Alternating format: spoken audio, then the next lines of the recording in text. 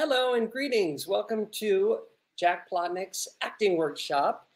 Uh, I hope that everybody out there is staying safe and well and sane. And um, I'm excited to have you all here today. Um, this is a film television acting workshop. And all the money uh, that we make today goes to Stacey Abrams Fair Fight 2020 which uh, is going to be protecting the integrity of the upcoming elections. So that's a really great thing to do, right? Um, so before we get started, and uh, I'm going to just talk a little bit about uh, my approach to acting, which is a joyful, selfish, non controlling, non result oriented approach to acting that I believe books more work. Uh, my take on acting for film and TV is that acting's fucking easy because you know uh, it's just playing pretend. I define acting as behaving as if it's really happening, and there's no right way to do that. And it takes little to no preparation to play pretend, um, besides what you feel like putting into it. Because the truth is that we don't create our performance in a television show or a film. The editor does. Our job is to just play in front of the camera and, um, you know, Christopher Reeve has a great quote. He said, uh, the great movies and TV shows are made of lucky accidents caught on film. And so a movie is just a series of these beautiful, lucky uh, accidents. Because um, when you're acting on film, it has to be spontaneous, meaning unplanned, um, unpremeditated, and uh, you can't fake that. Uh, acting's fake, though. You, you know, you don't have to make it real. You just behave as if it's really happening. But the camera is um, means to capture lucky accidents. Um, so um, acting is easy, but it's really uncomfortable, isn't it? You know, it's, it's very uncomfortable. Um, we feel vulnerable and tense. Our heart races. Our stomach is full of butterflies. Judi Dench, she calls that feeling her batteries because it is that racing heart that makes magic happen in front of the camera.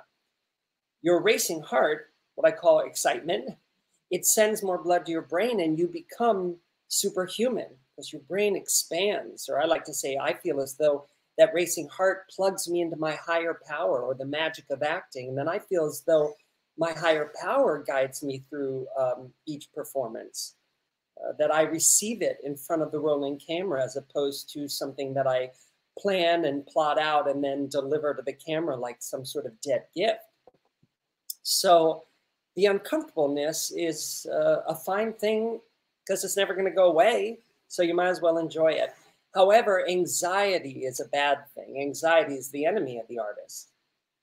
Anxiety uh, keeps us from being able to play pretend.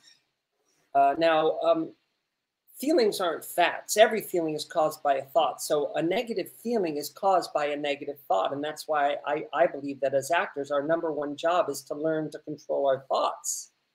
And to do that, you've got to imagine that that negative voice you're hearing in your head that's making you feel anxiety, that voice that's saying things like, oh, this isn't going well, they don't like you, you're not prepared, I tell actors to please move that negative voice outside your head. Stop thinking it's you and that it's the truth. And instead see it as like a vulture that's just like squawking on your shoulder. And now, by doing that, you've changed your whole life because you stopped self identifying with the negative voice and you've now created the real you, the one who's listening to that. And now you can let your vulture know I'm not interested in discussing what you want to discuss. Because your vulture or your ego it's the half of you that wants you to fail. So it's not saying the truth. It's just saying what it knows you'll currently listen to. So the way you talk to your vulture is to understand that it's okay to want to do a good job, but when you need to do a good job, you, you can't. So there's a big difference between want and need. I hope you want to book every job you audition for, but if you need it, you can't get it because need is fear based. Need says, I know what's best for me. And if I don't get this, I'm not worthy of anything, et cetera, et cetera. So when uh, the way you talk to your vultures to say, uh, for instance, if your vulture says, uh, you're not a good actor, you don't say, yes, I am, because your vulture will just go, no, you're not. so you say, well, I release and destroy my need to be a good actor. And your vulture goes, yeah, but you're not a, wait, what? I release and destroy my need to be a good actor. Look, I want to be a good actor, but I release and destroy my need to be a good actor. And then your vulture is flummoxed. You don't want to talk about whether you're a good actor or not. And when your vulture shuts up, the pressure to be a good actor comes off and you can enjoy yourself and you can enjoy how easy and fun and uncomfortable acting is. And then you're a much better actor than you were with the, the thought you're not a good actor rolling around your brain. So, um, you know, if I was sitting where you guys are sitting and I had to uh, perform a scene today, my vulture would be saying a lot of mean stuff to me. So I would be saying, right up until I perform, I'd be saying what I call my actor affirmations. They're the first chapter of my free book that you can read here at this link. My free book is called New Thoughts for Actors. The first chapter is there because it's the most important thing I teach, the actor affirmations. So um, I'm going to go through some of the things my vulture would be saying to me if I had to perform today and what I'd be saying back to get him to shut up so that I could enjoy my art. So first off, my vulture would be saying something like, uh, you have to perform this scene, so you have to make it look good, and you've got to know the right way to do it that's going to please your audience. To which I would say, I release and destroy my need to control this audition today. I'm not strong enough to control it, and when I try, it just ruins it. So instead, I'm just going to ask my higher power or my racing heart to lovingly guide me through it. And however it goes, it was meant to go. Even if it goes badly today, that's fine. I don't have a thing called failure. If it goes badly, it was meant to, and that's fine. Um, next, my vulture would be saying how I'm not where I need to be to do the scene. It's saying, well, you didn't do enough work on this. There's those 15 step guide that you learned from that, that teacher of all the things you're supposed to do, the work you're supposed to put into the scene, and you didn't do that.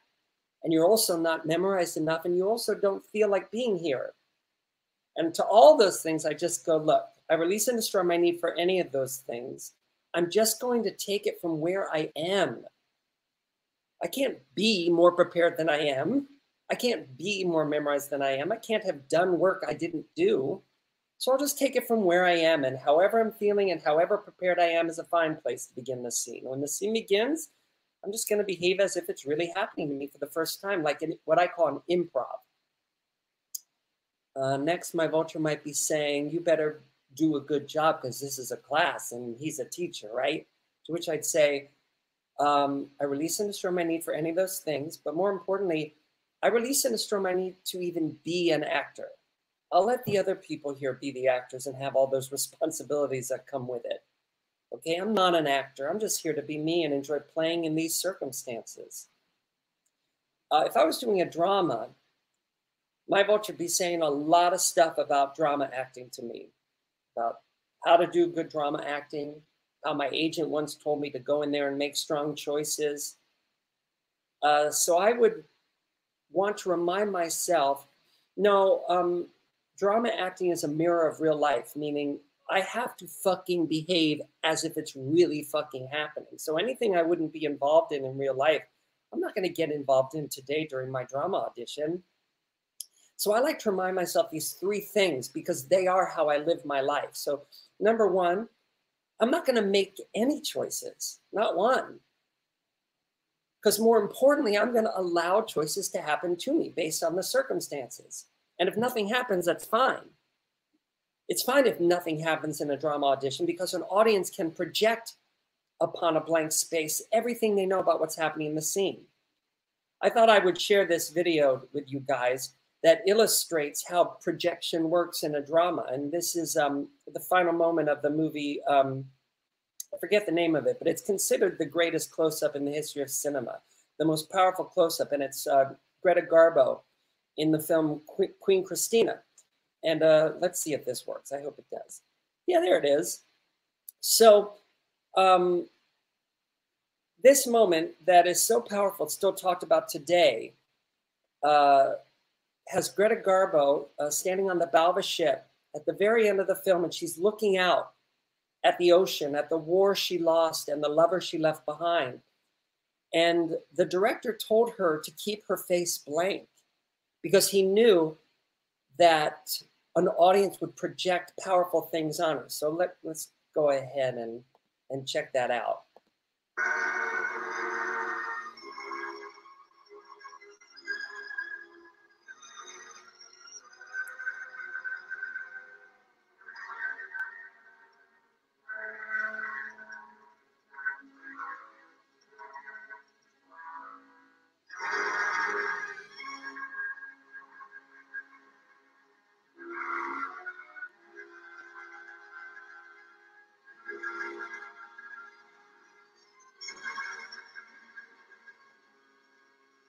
Again, most powerful, considered the most powerful close up in the history of cinema, and she's doing nothing. The reason why it's still remembered today and why it's so adored is that, you know, here's what everybody else was doing at the time, and still to this day they think they're supposed to do. And this is this is what they're doing. And action.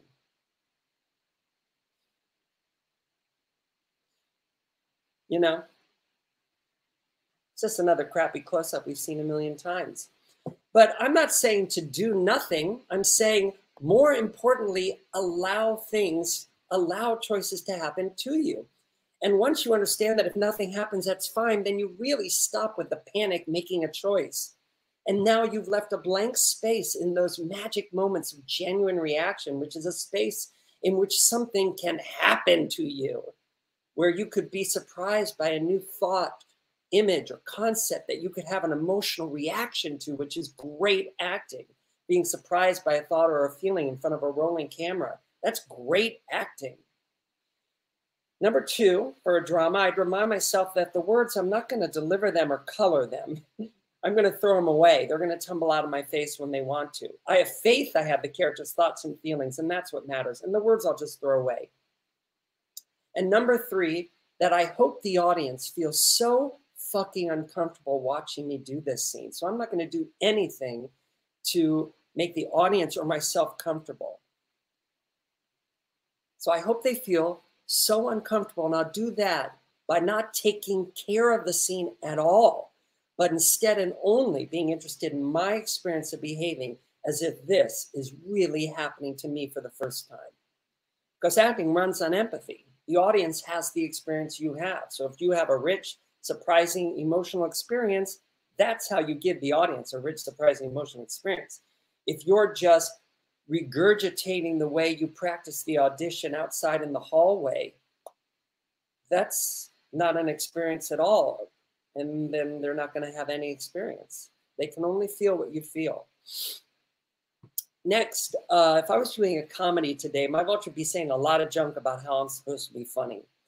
and you can't make an audience laugh by trying to make them laugh. Because uh, again acting runs on empathy so they'll be tickled if you're tickled.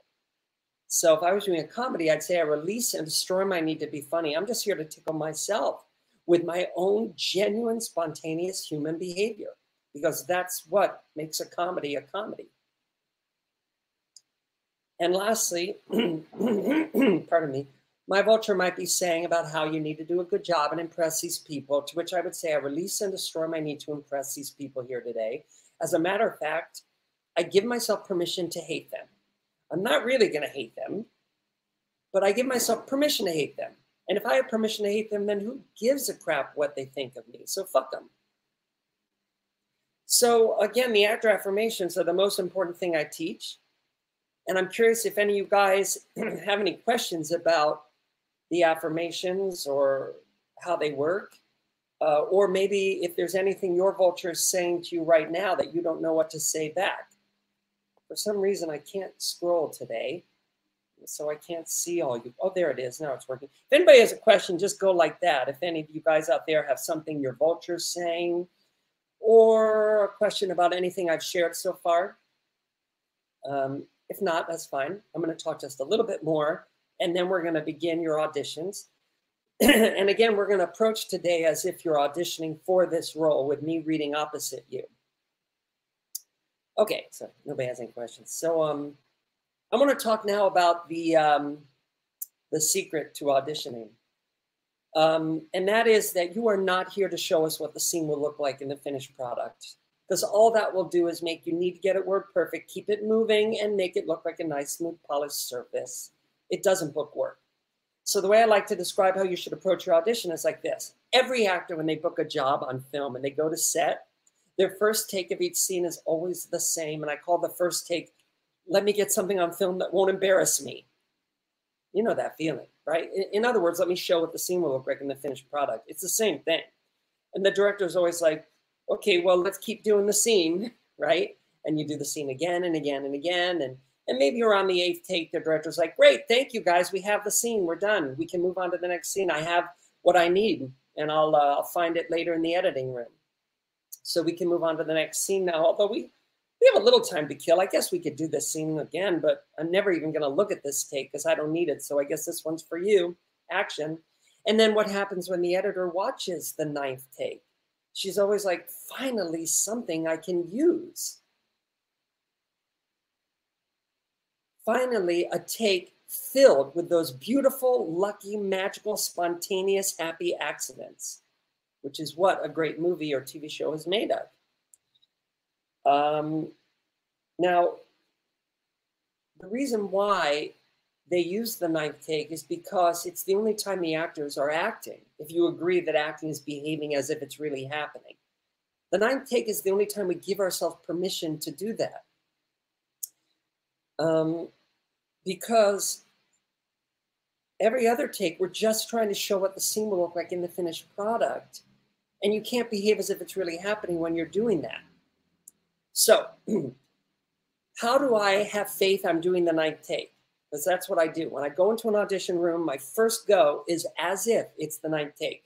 Well, right before I walk into the audition room, uh, I like to pretend I'm the director, and he's already seen me do the scene several times, and he's now letting me know.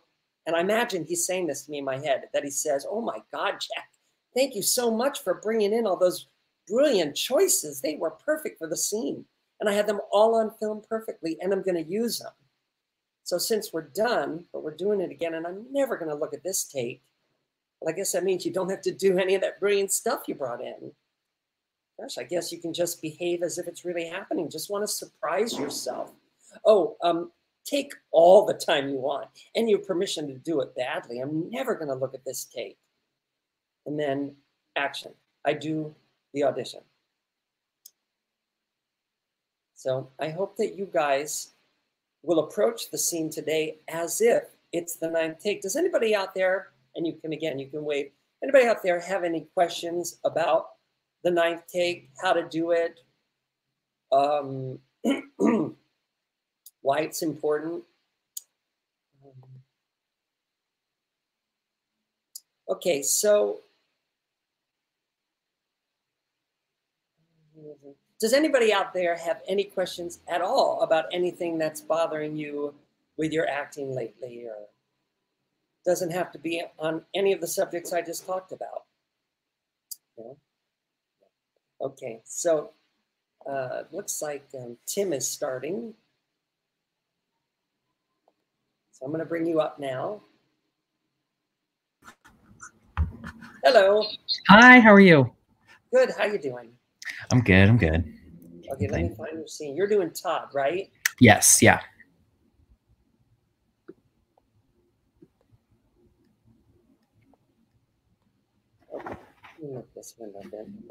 Now, Todd is a film half hour. Mm-hmm. And Todd is a guy that still lives with his mom.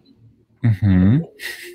And it says in this scene that uh, it says we're in Todd's bedroom. Mm-hmm. Todd is staring at an, this is not my words, ugly girl sleeping yeah. in his bed and freaking out. Yeah. It says she wakes up, shit. So um, since I have the first line, you just let me know when you're ready to begin. And again, this is a filmed half hour comedy. Okay.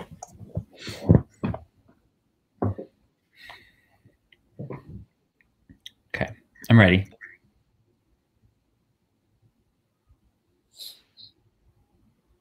Hey. Hi. Come cuddle with me. Uh, the cuddle window's expired. When? I got sober. Don't tell me you were drunk when you had your fingers inside of mine. Y- Yeah. Um. Here's the thing, Mary. Uh, for, Teresa. for Teresa, right? Teresa. Here's the thing. I'm sure you have a lot on your plate today, so you probably have to get going. So I understand if you have to. It's 6 a.m. Well, I mean, for most people, the day's half over. Like who?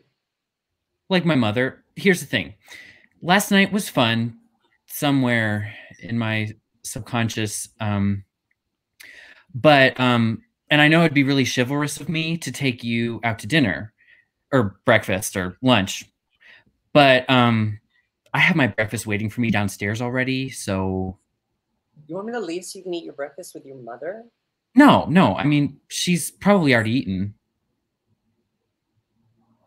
Are you kicking me out? I'm not an asshole. I'm I'm politely asking you to leave. Fine, I'll go. Should I take the stairs or hop out the window? Oh, uh, I didn't know the window. That sounds great. Yeah, use the window. Bye. Take it easy.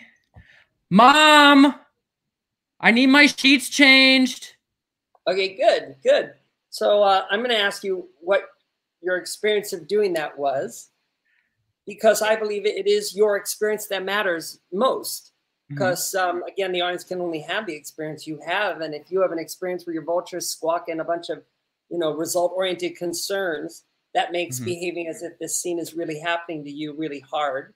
Yeah. Uh, so it's not a good experience for you. So it's not a good experience for the audience. But if you have an experience where you watch your vulture's silent, so it's easy to just behave as if this is really happening. It's a good experience for you. So it's a good experience for the audience. And that's why I tell actors got to be selfish, only interested in your own experience. Mhm. Is any part of you that's worried about your audience is a part of you not back here having a rich, selfish, emotional experience, surprising experience, Mhm. thereby giving the audience a rich, surprising, emotional experience. So when I say, uh, did anything come up you don't care for? Was there anything your vulture was squawking about? Um, there were moments uh, that I felt my vulture about to squawk, but about about to say, "You don't know the lines." But before I let it sort of derail me, I was able to quickly be like, "I release and destroy. I need to know the lines to be perfect." And um, And when you said that, did your vulture shut up and did you feel that pressure roll off? yeah Yeah. because i just i realized i know like it'll come and be like it'll come as long as i stay i keep my i guess my energy and my focus away from Well- thinking of external Yeah. externally and more you're using a lot of very colorful wor- words when really it's just you can't remember words when your vulture's squawking about how you have to remember Yeah. the words. Mhm. So it's not about energy or focus. It's literally just when your vulture's silent, you have to understand your brain is a fucking supercomputer when your heart is racing. It will remember the idea of the line at least, Mhm. but you have to give it a moment. Yeah. And, act, and actors think, oh no, I got to keep that scene moving. And then their vultures start screaming, speed it up. You don't know the lines, you know? So what I love is that you've pointed out to everybody when you begin the affirmations and, and learning to control your thoughts, what I teach, you'll have to say them while you're acting because your vulture squawks while you're acting. Mhm. And uh, you just saw how that works. And that's wonderful because uh, eventually you won't have to say the affirmations because your vulture will stay silent for the whole audition. And boy, what a joy that is. And that's when you tend to book the most work is when you can do your art with no anxiety. Uh, so, but nonetheless, you, so your vulture used to get away with saying you don't know the lines well, and today it didn't. Mm-mm, did not That's great. Uh, anything else your vulture might have said? Or was that the only thing it was wanting to say? i think that that's what I. that's yeah i think that's the only thing it wanted to say today. feel- did anything else feel better than usual based on what you're working on with me? Yeah i um? I was allowed. I, I this is my third one of fourth one with you of totally, but this is the third workshop I've done virtually, and um, just like you say, allowing it to happen as if it's happening in real life, and focusing more on that and I guess not and also i also struggle with memorizing the lines a certain way and making choices and sticking with them each time i go through it. Whereas this time i felt less because i did i did like memorize it and stuff but i was less tied to the choices i had made previously and i just let it happen as you because uh, as you rea- responded to me, which was really, really nice because I didn't take the pressure off. Yeah, it takes pressure off because what you're describing is that you used to put an added pressure on yourself, which was the pressure to do it the way I planned. Yeah.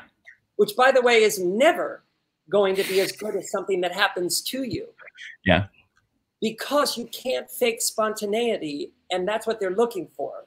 They're looking at the water you're swimming in and whether you're swimming in the kind of water that will allow the editor lots of beautiful, happy, lucky accidents. Because mm-hmm. they know how acting works. They know it has to be spontaneous, and that's what the editor is looking for. But um, what uh, because you did uh, you were less married to any preconceived notions you had of line readings or result oriented uh, concepts did you find that you were more surprised by how the scene came out yeah I'd say so. Was that yeah. more fun? It is more fun because I. Way? Yeah, it is because yes, I know what the lines are, but yes. it. I'm like, oh, I didn't think of it. Yeah, yeah. Well, lines are tools that we memorize, and then they become tools for the artist in the performance, not dead gifts. We're going to hand them as result-oriented objects. We're not mm-hmm. making wooden shoes on a conveyor belt. We have these lines and we get to see we're not going to an audition to show them the way the scene will look we're going to an audition to discover in front of them one of the many ways the scene could look mm-hmm. but you know what i hope you'll start doing is to please understand you have more power than you think you do in terms of memorizing with no line readings mm-hmm. so you know it sounds like you did have a bunch of ideas but you just went eh, i don't want to think about those and what i recommend is that you don't even do that step of the process it's not a step okay. i do mm-hmm because then it just makes you go, don't do that stuff you thought you might do. mm-hmm. Yeah. See, every actor, when they memorize, has a vulture that goes, oh, say it like this. And you've got to tell your vulture, no, I'm not acting right now. I'm memorizing, and I don't want to know how I'm going to say it. I want to be surprised by how the lines come out the same way the character is surprised. So, vulture, while I memorize, I'll just put all my focus on what the words mean, the meaning of the line, the idea of the line. And mm-hmm. you're going to find that all of a sudden you can memorize super quickly because that's the healthy way to memorize. The other way makes it harder to memorize. Line readings make it impossible to memorize because you're not understanding what you're memorizing. And you really have to accept the fact that the ideas your vulture's saying when your heart isn't racing are shit. They're just not very good ideas because your heart isn't racing. You're just kind of, you know, you're not that extra superhuman expanded universe energy you have. Mm-hmm. So anyway, I hope that next time you'll really be more, even more firm with yourself and yeah. um, so anyway, you know, the goal here is to uh, do your second read the first time, you know, and mm-hmm. uh, obviously you did, and it was a very nice audition. And obviously you did because you were free from a bunch of the vulture squawks you were having in the past. Mm-hmm. And I thought it was a very nice audition. And I, however, you had some fucking beautiful moments, but I just wanted more of them, more unplanned See, if you watch that back, there'd be some moments that you'd be like, I don't remember making that face. I don't remember doing that. And and that's the goal is to just have your audition be filled with those moments. Mm-hmm. But actors, they pick up a script and they look at it and they go, okay, so here's these lines. I've got to go in there and say the lines and say them well. Mm-hmm. Better than that guy who's going to go in there after me. And because they think their job is to say the lines and say them well, they go through an audition like it's a narrow hallway. And because they're constricted by these walls in this narrow hallway. They end up racing through the scene and they're like, oh, I said all the lines. That was fast. Uh, how was I? But see, I want you guys to be the actors who break down those walls that you feel constrict you. And instead, you see the scene as this big playing field where anything can happen. These are just the words, but anything can happen in terms of thoughts, feelings, images, movement, added words, added thoughts that you had never thought of. And then all of a sudden, you're the actor who's really taking a bite out of the mm-hmm. scene, really approaching it like an improv. And then you're driving home going, wow, I didn't expect to think that or feel that or say the line like that. And um, so I just wanted more of that. Mm-hmm. And that's just about you going even farther away from your uh, responsibilities and instead making it more for you and approaching it even more like an improv, an improv about s- staring at an ugly girl and freaking out. Mhm. Now, you tickled yourself at times, but in order to tickle ourselves with our human behavior, you have to have human behavior. Yeah. But to have human behavior, you need circumstances. Mm-hmm. And the circumstances are I'm freaking out because I don't know if, I mean, I don't think I'm digging too deep here. I don't know if this girl is going to get out of my bed. If I knew she was going to get out of my bed and not put her lips on me, I wouldn't be freaking out. Mm-hmm. Right. Um, so I would just like you to make sure that you have those circumstances in your belly. Trust your gut to do in what it will. Don't put what I said in your head. Yeah. You're going to feel a responsibility to show me, see, I'm doing what you said to do, and then you're right back to showing what the scene will look like. But Mhm. anyway, this is a filmed half hour comedy. So, yes, you can muscle some moments and make some choices, but throughout the scene, for half the scene, you're going to not be making any choices and just see what happens. Okay. So I want to caution you to not approach it like a sitcom because you had some moments that you squeezed so hard, or in other words, controlled so much that it was approaching sitcom territory. Because you can pre-plan shit and really squeeze moments in a sitcom, but a Mhm. filmed half-hour comedy in the spectrum of acting is a little is sort of halfway between a sitcom and a drama. You know, where you're where the audience feels like they're spying on you a little bit more than what we just saw. I think. Okay. You know what I mean? hmm Yeah, yeah. I think So so. anyway, again, I thought it was a very good audition. It just, it's just about you wanting to have a, um, you know, they say this, they say, I like him, but I just wish we could have seen more of who he was. And actors hate to hear that because it's like, well, how the hell do I do that? And the answer's simple. You just even more approach every moment like an improv. What does it mean by improv? That it's really happening for the first time, which means you don't know what I'm going to say and you don't know what you're going to say, and that anything can happen. So don't just go, oh no, I kind of know this section. Mhm. You don't fucking know what I'm going to say back to you on every line. You know? Now, um, your arm, I don't know what it's resting on. It's on a sill. It's on a windowsill. Well,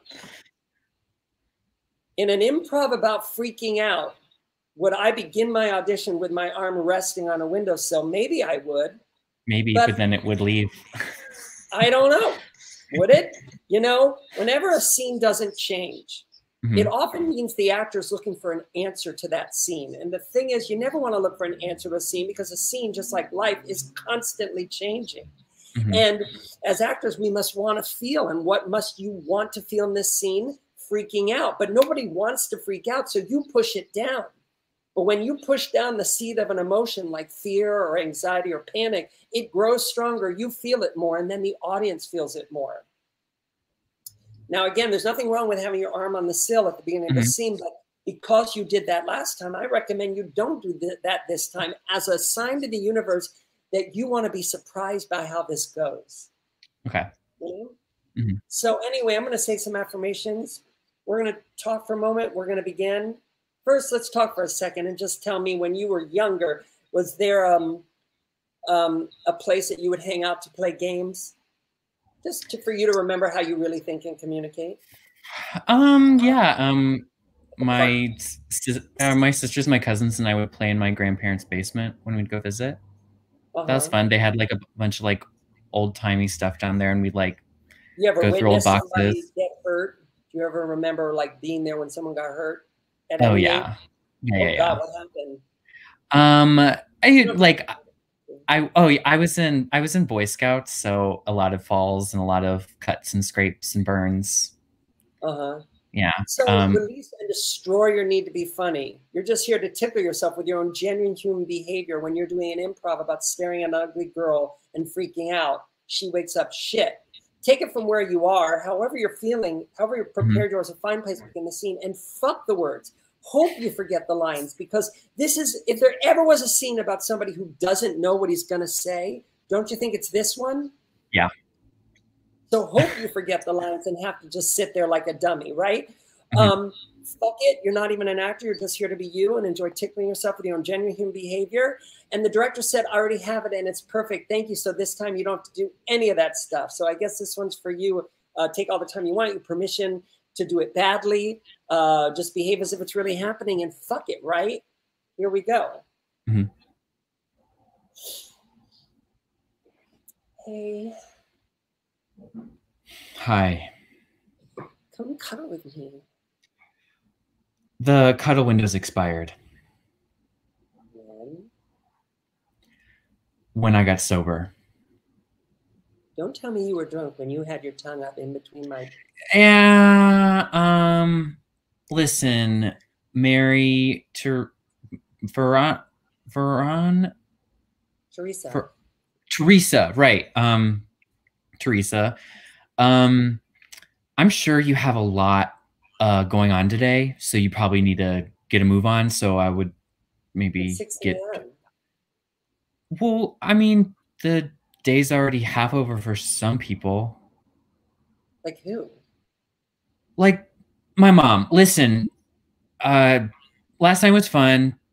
Somewhere in my subconscious, but okay, good, good. Uh, again, every time something surprised you, we felt it. It was like bang, and and that's that's what's funny is genuine human behavior. And you had a moment where you went like that. It's like you can't plan that. But you know, I'm not asking for uh, higher stakes because that would like really high stakes is what makes a filmed half hour turn into a sitcom. Mm-hmm. But I, I'm seeing the word freaking out in the stage directions. Yeah, I yeah. Look, I see that as well my take is we have one life to live. Mm-hmm. And you not enjoying freaking out is just dipping your toe in the water. Mm-hmm. And I want you in life to want to jump in. I want to jump in too. okay. And what comes up for you when I share that? Do you go, Oh, Jack, I thought I had the circumstance of freaking out in my belly and I was having fun being uh, affected by the concept of freaking out?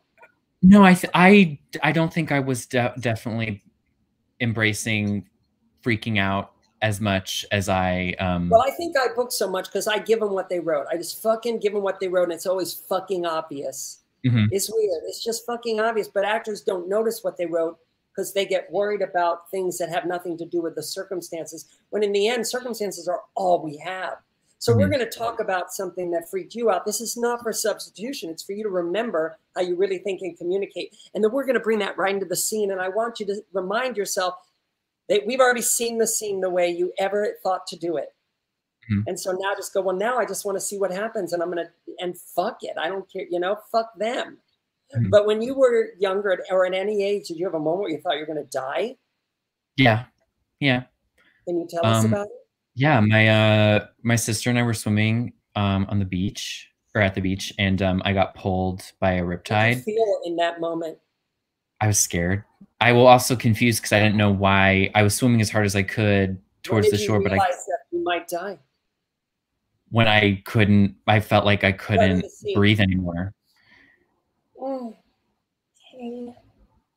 Hi. Come cuddle with me. Uh, the cuddle window's over. When? When I got sober. Don't tell me you were drunk when you had all. Yeah, you know, um, ma- ma- Teresa, Mayor, Ver, Teresa. Teresa, right? Teresa. Um, listen, Teresa, I um. Okay. Okay. Good. So that was a beautiful beginning. Mm-hmm. And then you did go into sitcom land because you, you keep swerving to an old theater habit we have where we think our job is to share with the audience the scene. Yeah. And in film acting, you don't have to project your uh, your experience outward. We see everything. We see mm-hmm. it all. So just have the experience. But I want to again say that was a wonderful start. And where you um, turned left to a result-oriented place was you started that improv about not knowing her name beautifully. Mm-hmm. But then you stopped behaving as if it was really happening. And you went from trying to remember her. You went from really trying to remember her name, which is how the line started, which was fucking beautiful, and it was enough, to panicking and going, "This can't be enough." And then you started showing us, "I'm trying to remember her name, and we need you to really fucking try to remember her name." That's an improv about not knowing someone's name and not wanting to get busted for it. Mm-hmm. And you started that way. Yeah. But then once you stopped doing a real improv about that, then it just went into uh, it was hard for you to, to, to let go of that responsibility to show what the scene will look like. Mm-hmm. You know, it's we don't. It's such a wonderful improv that line, and the interesting thing is, it wasn't until this last go when you really let go of your control of the scene that you understood that moment. Yeah. I felt it felt because more. Past reads, I couldn't even tell that you understood what that moment was, which is an improv about not knowing someone's name but hoping not to get busted. This time you knew it, but then mm-hmm. you left it. And actually, what you were doing was fucking easy, wasn't it? It was easier before you took back the reins of the scene, wasn't it? Yeah, it was. That line is so simple. Yeah, it's just yeah. So anyway, m- m- I mean, it's just such a beautiful little improv that could be done a thousand different ways. Yeah. So anyway, great work. Thank I point out that it was easiest at the end because I know it was because yes, it was uncomfortable, maybe more so because you let go of your control of the scene. So that makes us really uncomfortable. But guess what? He's really uncomfortable. so all of your controlling of the scene that you were doing still was just making you comfortable, which just made us comfortable. Mm-hmm. You see? Yeah. Uh, great work. Thank you. Thank you so much. Really, terrific. Terrific. Thank you. Um, okay, so now um, we have. Uh, hello. Hi. Hi. what scene are you doing today? Um, I am doing. I thought I emailed it to you. It's, it's for an audition I have. Um, let me know if you don't have it. I can send it.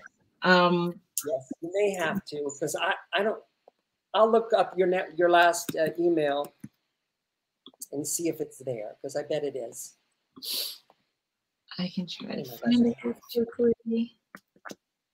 Mm, I think I'm going to need you to send it to me, and I have to turn this fan on. Pardon me. Okay.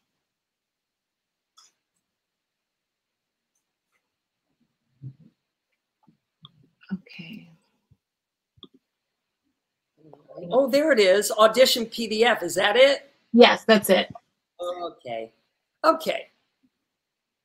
Um, I have to download it. Sorry, guys. I did not notice. No, I don't want to print it. uh, hell do you download this thing?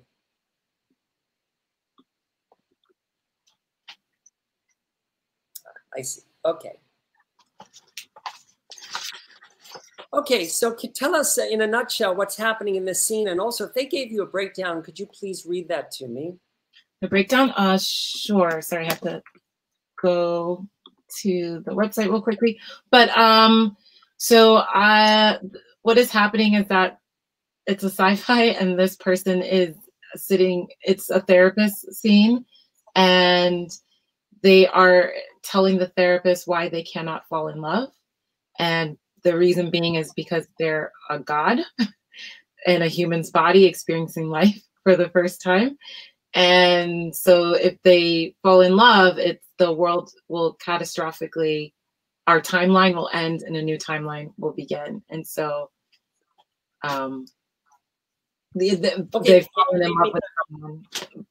Gotcha. It's, it'll kill the world. Uh, can you yeah. read me the breakdown of the character of Aeon?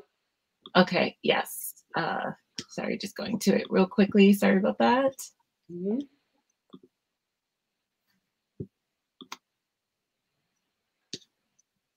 Okay.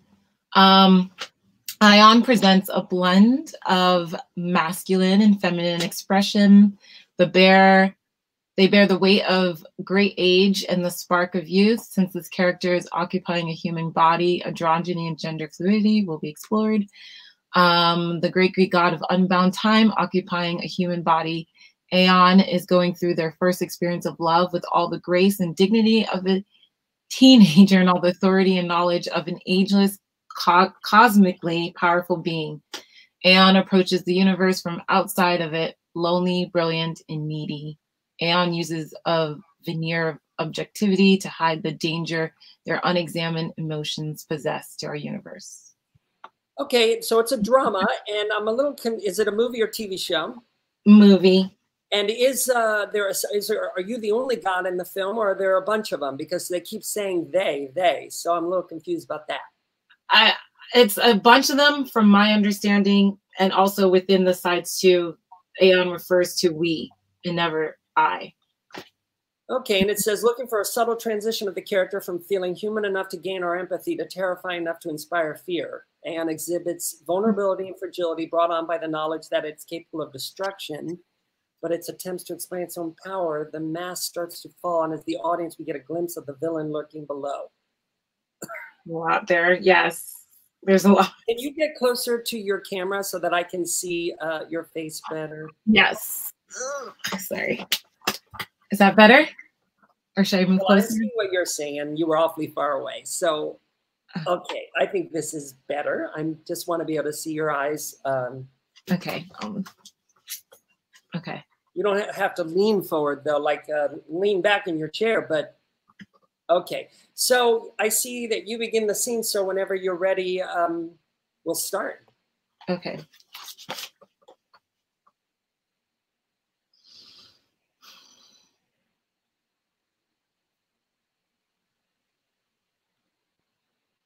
Since I am without time, I am without love.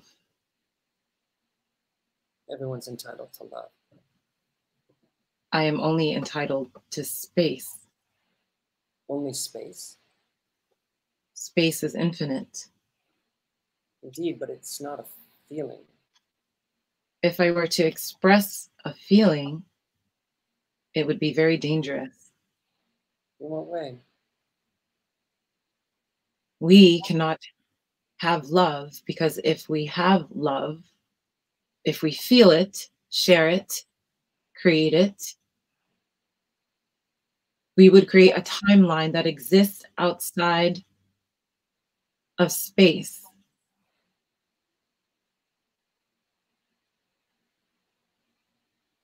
Boundaries of universes collapse.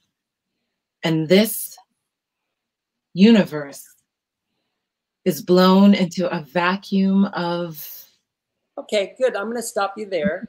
Good. What's your experience then? Anything come up you don't care for? Anything your vulture was saying to you?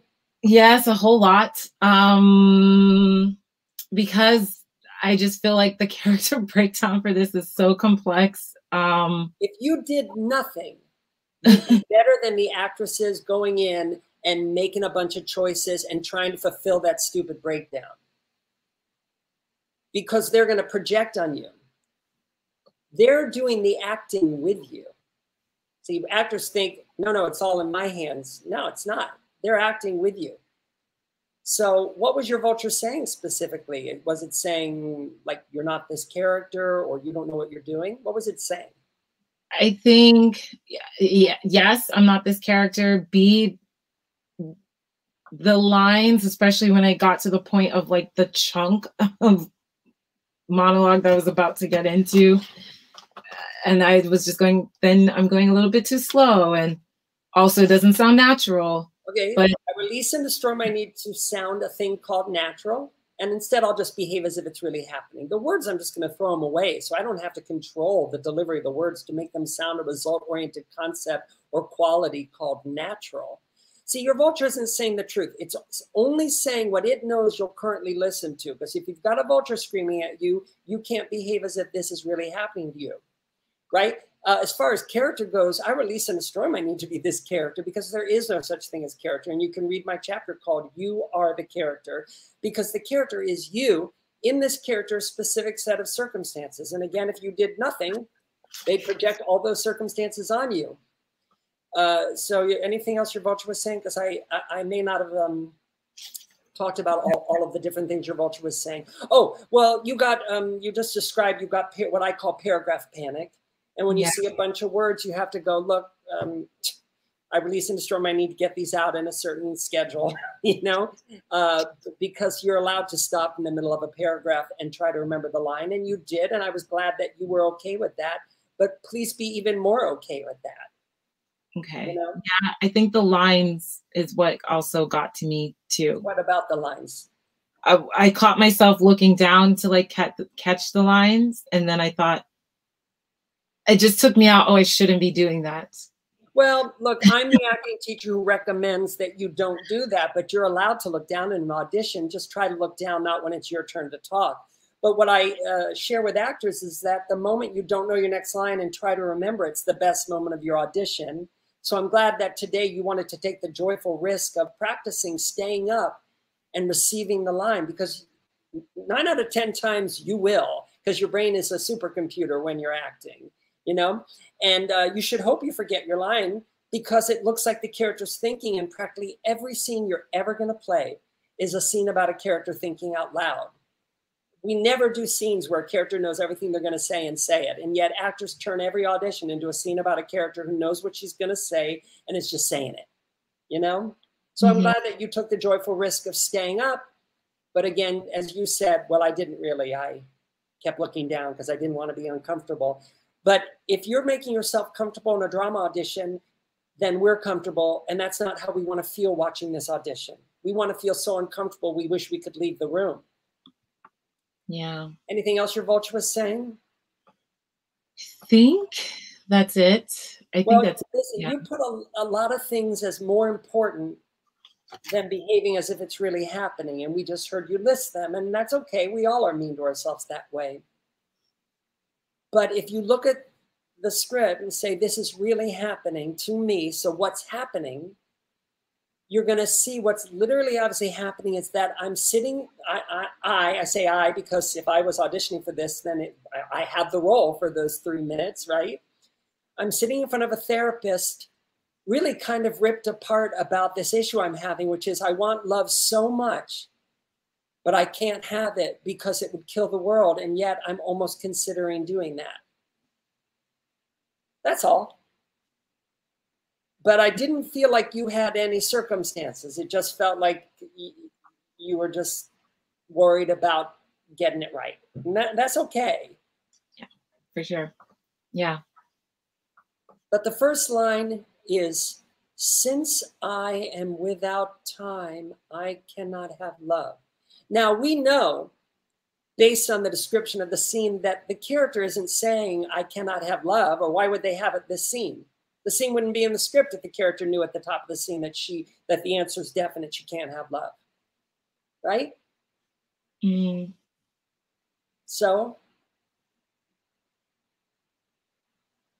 I want love so bad I could taste it because I'm like a teenager inside. That's how hungry I am for love and, and physical, uh, uh, you know.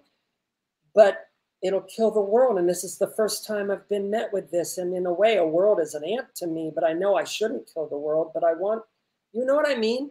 Isn't it an improv about thinking out loud eh, about this issue I'm having? Mm, yeah.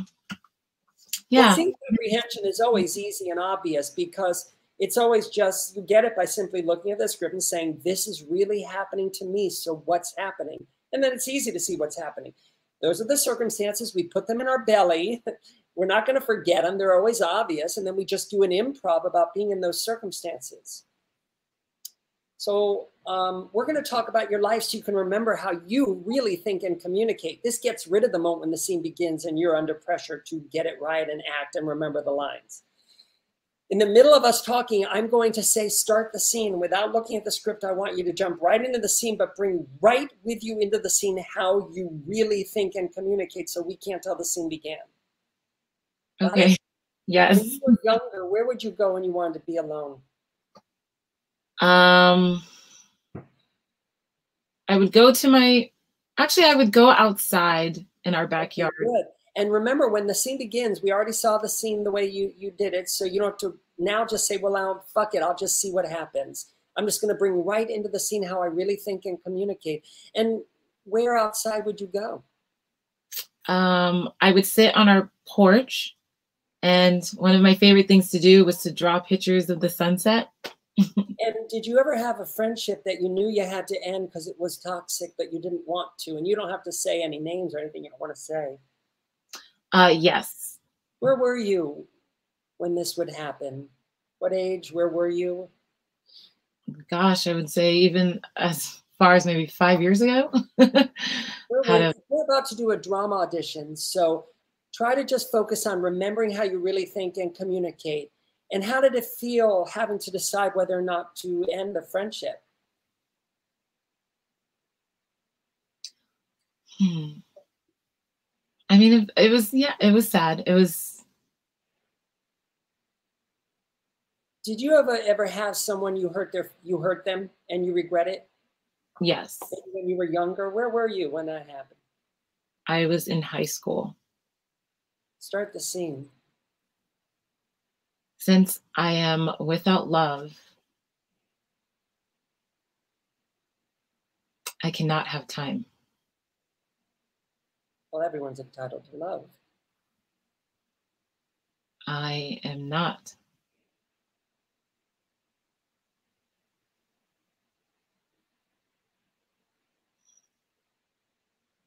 I am only entitled to space. Please don't look at the lines. Mm-hmm. We're going to do this again from the beginning. Look at the lines now, honey, and be okay with how uncomfortable you are when you don't know these lines, because that's how we want to feel. This friend, where was the last time you saw them? Um, Start the scene. Since I am without love. I cannot have time. Well, everyone's entitled to love.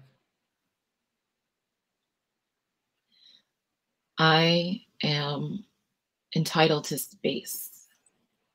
Space is infinite. Oh, sorry, uh, only space? That's all you're entitled to is just space? Space is infinite.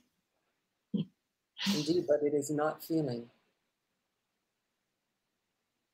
if if I were to feel it would be very dangerous. In what way?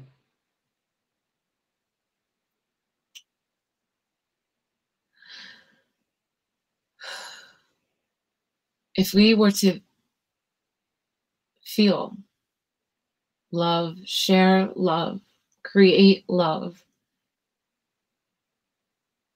we would create a new timeline in a space outside of time. This existing universe would compete with your timeline and the new timeline.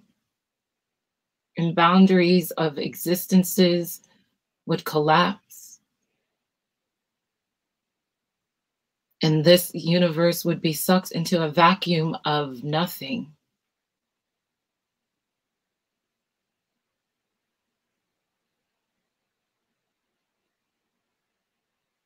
And all of the. Okay, good. Um, was that easier or harder than the first time you did the scene today? It, it was a bit easier, but it did feel very uncomfortable. Okay, so now we know that you have to feel wildly uncomfortable to give a good audition because that was terrific. And what I love about my acting workshop, if I must say so myself, whenever actors have a beautiful adjustment and an audition gets really good, they always say it was easier and also more fun because they got to be surprised, you know? And if it's better and it's easier, that means it's not better because you learn some new technique or some bullshit like that. It's better because you stop being involved in things you don't need to be involved in, which was anything your vulture was saying. Because that time, now your vulture isn't saying all those mean things she was saying before, is she? Yeah. yeah. So that's yeah. why all you got to do next time you act is look to your vulture and say, no, no, I release and destroy my need for anything you're saying. So I release and destroy my need to be the character. I release and destroy my need to know these words. I release blah, blah, blah. Mm-hmm. And then mm-hmm. you'll do what you just did so easily and so well. Because that was a beautiful audition. because now you're behaving as if it's really happening, which is what makes us castable. If you're not doing that, they'll never bring you back again because you're not castable if you're not behaving as if it's really happening. And the good news is it's easy. You maybe just didn't used to like how uncomfortable it made you. But now you know being uncomfortable is how you must feel. Yeah. Yeah. And also, it's weird because I read your book and I was trying not to as I was working on the lines to imagine or practice how I was going to say it, but I still had this vision of like how it should go and how it just happened. I never say the words out loud the way I might say them in a scene, and this is for a drama. I never say the words out loud the way I might say them in the scene until I'm doing the scene in front of the producers and the writer. And that's a gift you give yourself because your auditions become 100% spontaneous by definition. You don't have to pretend you haven't said the words like this. You never have, right? And the air is electric when you do that. And uh, you control that. Actors, you can keep your vulture from giving you ideas about how the scene should look and sound by simply telling it that's a shitty idea. I'm not interested in, and I'm memorizing. And don't do a thing called rehearse with your dramas. I don't rehearse for a drama. It would just make me more comfortable in the room, and I don't want to be comfortable. I run the lines in a disinterested, monotone, rhythmic voice, like I want to go to putting all my focus on what I'm on what the words mean, so that I have the tools when the time comes to perform the scene. And so now I'm going to give you my last note because you are going to audition for this role yes, one of the elements in this scene is that concept of pushing down sadness for a thing you can't have or a regret, right? But mm-hmm. also, one of the circumstances of the scene is that I destroy worlds with no conscience. And when you're playing a villainous person, it's so easy because a villainous is a villainous person's circumstances are they don't care about how other people feel. They do not take care of other people's feelings at all. And to have that circumstance, all you have to do is, you know how I say give yourself permission to hate your audience? Well, when you're mm-hmm. playing someone like this, multiply by a thousand how much you have permission to hate your audience. Put that in your belly. It will affect the scene in ways you don't even need to understand. And I also need you that when you see a paragraph in a drama audition to tumble through it. I'm not saying to keep it moving. I'm saying let the words spill out of your mouth they'll get stopped by something bigger than you. And forgetting the next line is a great reason for the words to get stopped. Or maybe as the words are tumbling out of you, maybe a thought will surprise you and it will catch your, your voice in your throat. But right now you're slowing everything down because you don't want to not make, you want to make sure that you know every single word of the next thing you're going to say. And then you can't throw the words away. Okay. It's okay to let three words tumble out of a sentence and get stopped in the middle of that sentence and then have to think about what the rest of the right start yeah. talking the moment you know the idea of your next line because what's happening is you're not throwing the words away. And, and in a, when you see a big chunk of words in a drama you've got to tumble through it hoping something stops you. Okay that's so helpful. Okay great work today. Thank you so much. You're welcome. Uh, guys we're going to do one more and then we're going to take a three minute break. And the next person up is tim so I'm, there you are. Okay. Hi, how are you? Hi, good, thanks. Glad to be here. Well, uh, thank you. And you're doing. I, I just I said I was going to do a monologue. You didn't. I didn't tell you what it was. I'm going to do oh, a, a. Right, right, right. Now, is this a monologue like that you use? Yeah, I, have used it on and off.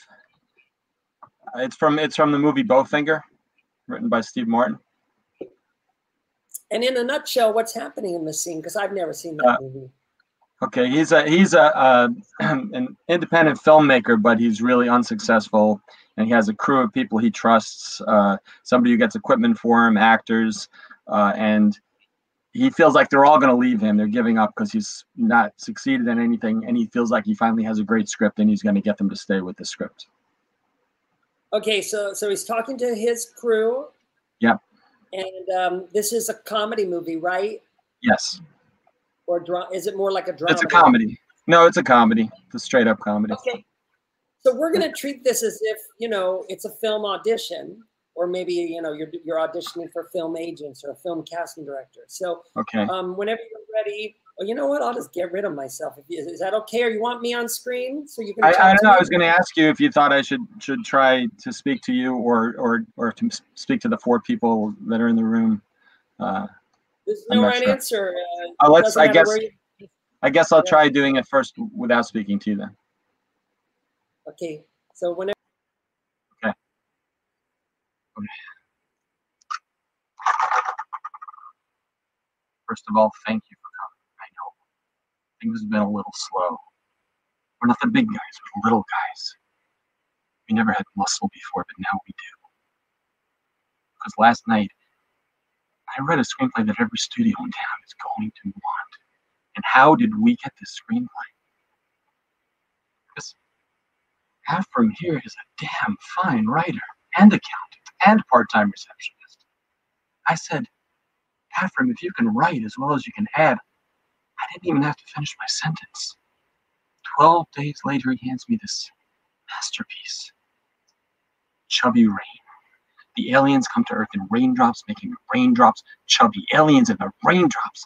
I mean, at the end of this movie, when our hero, Keith Kincaid, looks up at the alien antenna and says, Gotcha, suckers! I, I mean, there's a moment. Just, I will close this deal tomorrow. Just give me until then.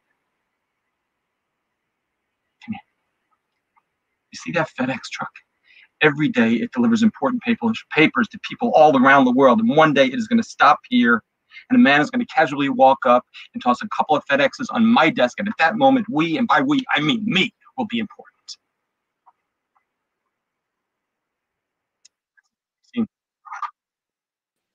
Okay, great, great work. You know, I apologize for some reason when I uh, took came off screen, your voice uh, got was no longer matching your lips, and so but uh, oh. uh, it was close enough that I could still, you know, enjoy okay. your performance. But um, sorry about that. I don't know. That's very strange. But anyway, so uh, good work. What was your experience of that? Did anything come up you don't care for? Was there anything your vulture was squawking uh, at you?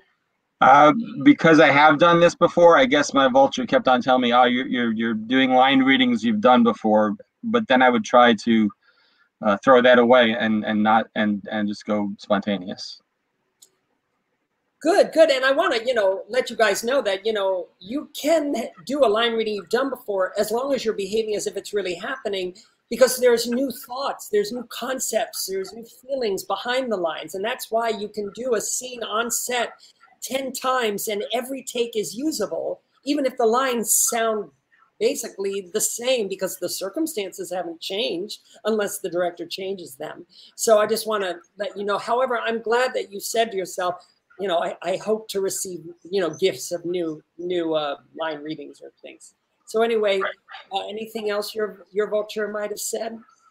Um, I mean, I stumbled over a word and then kind of my vulture chastised me for that, but I but I also tried to go with it. Say about that because whatever your vulture said was so loud and so mean, you broke character in that moment, you know. But mm. when our vulture squawks at us, essentially it's kicking our inner child in the stomach, and that's mm. why we want to get our vulture to shut up. So, what did your vulture say about uh, about that moment? I guess that it didn't practice enough or that I didn't do enough like sort of tongue twisters before I started to get my that that kind now, of thing. Did you know people stutter and stumble and and, and like don't speak perfectly in real life, yeah. right? Sure. So in a way, shouldn't we kind of hope that we get tongue tied and trip up? And I mean, this is not a scene about a guy who's practiced this speech, right? Right. No, so, I mean, he, I guess he he may have practiced it a little because he called them there, but not word for word. I recommend that when you do this scene, you don't have the circumstance that I practiced this speech before they come in, because um, very little can happen to you if you do that. And in real life, we just don't tend to practice speeches. Like, uh, it just doesn't tend to happen. And I think this, the it, that should be saved for very specific scenes. Um, but anyway, the universe sent you a gift of, of, of, of, of, of something like that. Did you see what I just did? Yes. And yeah. and you know, and instead of just going, well, look, however it goes was meant to go, and I'm not in control of the scene. My higher power is guiding me through it, and you know all the different things we can say. You know, instead you you know let your vulture kick you. So um, I do recommend everyone out there to read the last chapter of my book. And it, it explains how to have a reality where there's no such thing as failure in your acting so that whatever happens, you embrace and are fine with it as opposed to thinking, oh, this wasn't supposed to happen. And now let me list the reasons why it's happening because you didn't practice enough and you didn't do your tongue, to, you know what I mean? It's a road your vulture wants you to go down so that you're not able to enjoy continuing to behave as if it's really happening.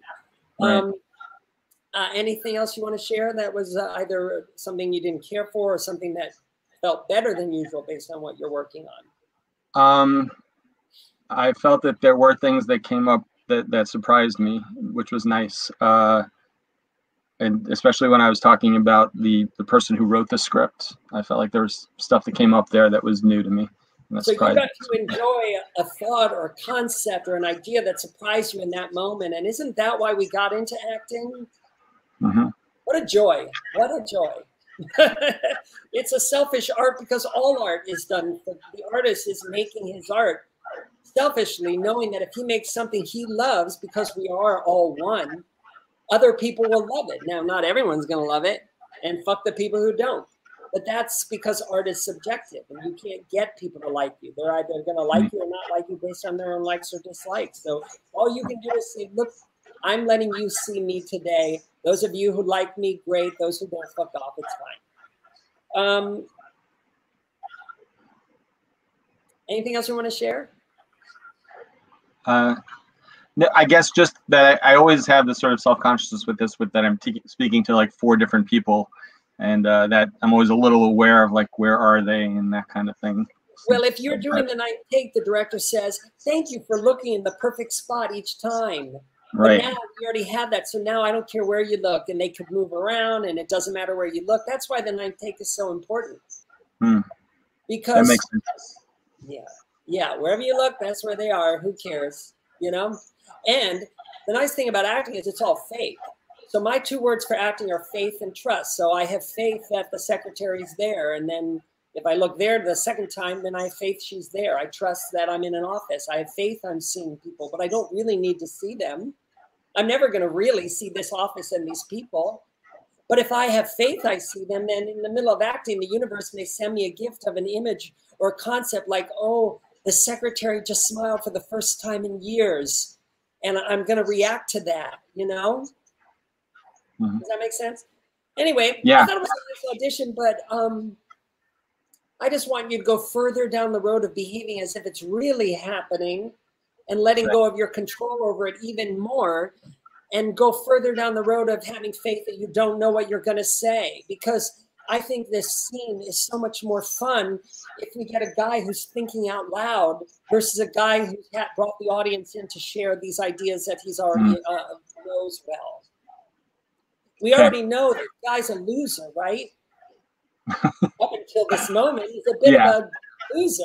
Well, what are the yeah. circumstances of loser for you? This is the fun part of being an actor because we get to put we get to decide what circumstances we want to put in our belly to fulfill what we think they're going for. Now, one of the circumstances for me that I put in my belly is that um, I feel like this could be something really great, but things hadn't things don't ever work out for me, but maybe they're gonna for the first time this time. But I'm not, it's not like they ever have before. So I'm going to be pushing down my fear that things aren't going to work out, but also pushing down this joy that I feel like I maybe won the lottery. And I'm going to have faith that I have no idea what I'm going to say and that I don't know if they're going to listen to a word of this.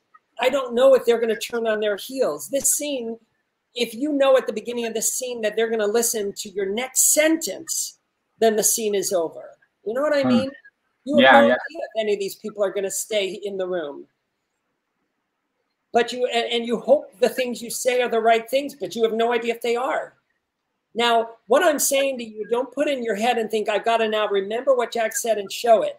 I'm putting things that I put in my belly. In other words, throw them away. You're not stupid. Anything that you like will stick, and anything you don't is fine, right? Yeah. Um, but I do love this exercise. It gets rid of the moment when the scene begins and you're under pressure to act. And it also gets our vulture to shut up. So we'll talk for a moment about your life. But also, I want to say we saw the scene okay. So tell yourself, well, this time I'll just see what happens. I want to put all my joy into just having faith that this is really happening for the first time, which means, God damn, I need this script to get made. And I don't know if it will, but I feel like it could be great, but nothing great has ever really happened in my life. And I'm not wearing a very nice suit, right? It's a shitty polyester suit and I and I probably have sweat stains in my armpits, but I, I got to make this work because if I don't, I'm going to be homeless. But anyway, I'm tickling myself with my genuine human behavior when I'm in those circumstances. When you were younger, what was a class that you just floundered in? You just didn't know if you could uh, get through it. Uh, math, calculus. And uh, again, you're just going to bring Ryan to the scene how you really think and communicate. Tell me everything you had to learn in math and calculus. I need 30 things in 15 seconds. I, I don't. Well, I don't remember what the, these equations where it was like a line and, and one equation on top of another with parentheses and x's and y's and you had to do it all at once. First of all thank you for coming. Uh, i know things have been all slow lately but we are not the big guys we're the little guys. We never had muscle before but now we do. Because last night I, I read a script that every studio in town is going to want. And how did we get this screenplay? Because Afrim here is a damn fine writer and accountant and part-time receptionist. I said, Afrim, if you can write as well as you can add, I didn't even have to finish finish my sentence. Twelve days later, he he hands me this masterpiece, Chubby Rain. The aliens come to Earth in raindrops, making the good, raindrops. Good, good. I want to do the scene again. Good work. But listen, um, when I get to do a scene again, I always tell myself, okay, now this time I just want it to be all completely new. And so, for instance, I wouldn't recommend putting the people in the same place or physically okay. doing because I'm seeing a very similar scene simply because you're not. I'd like you to want a little bit more to be surprised by how this goes. Secondly, a scene is a series of improvs, meaning there's an improv in this scene where now I'm going to tell the story. Mm-hmm. And, and, and, and, and you have to understand that it's not just more of the same something totally new is happening. Now I got their attention, and now I'm doing an improv about telling the story of this movie.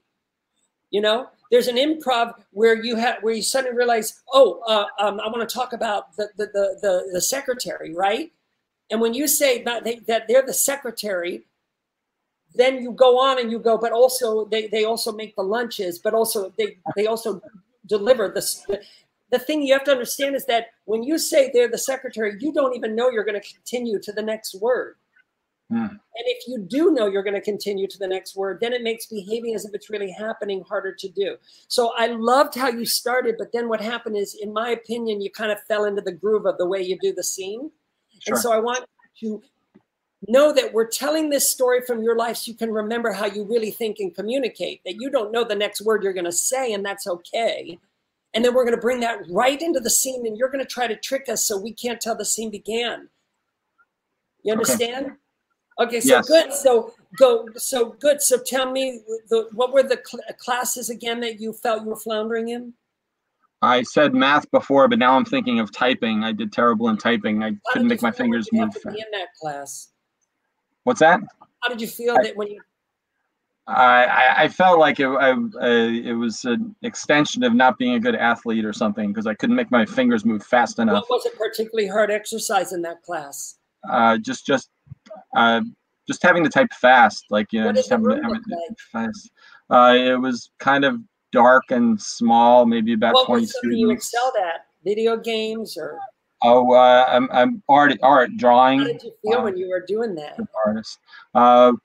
Start the really scene. good. I, I still, um, first of all, thank you for coming. I know things have been a little slow, but we're not the big guys, we're the little guys. You know, we never had muscle before, but now we do.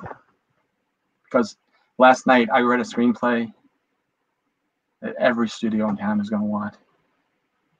And how do we get the screenplay?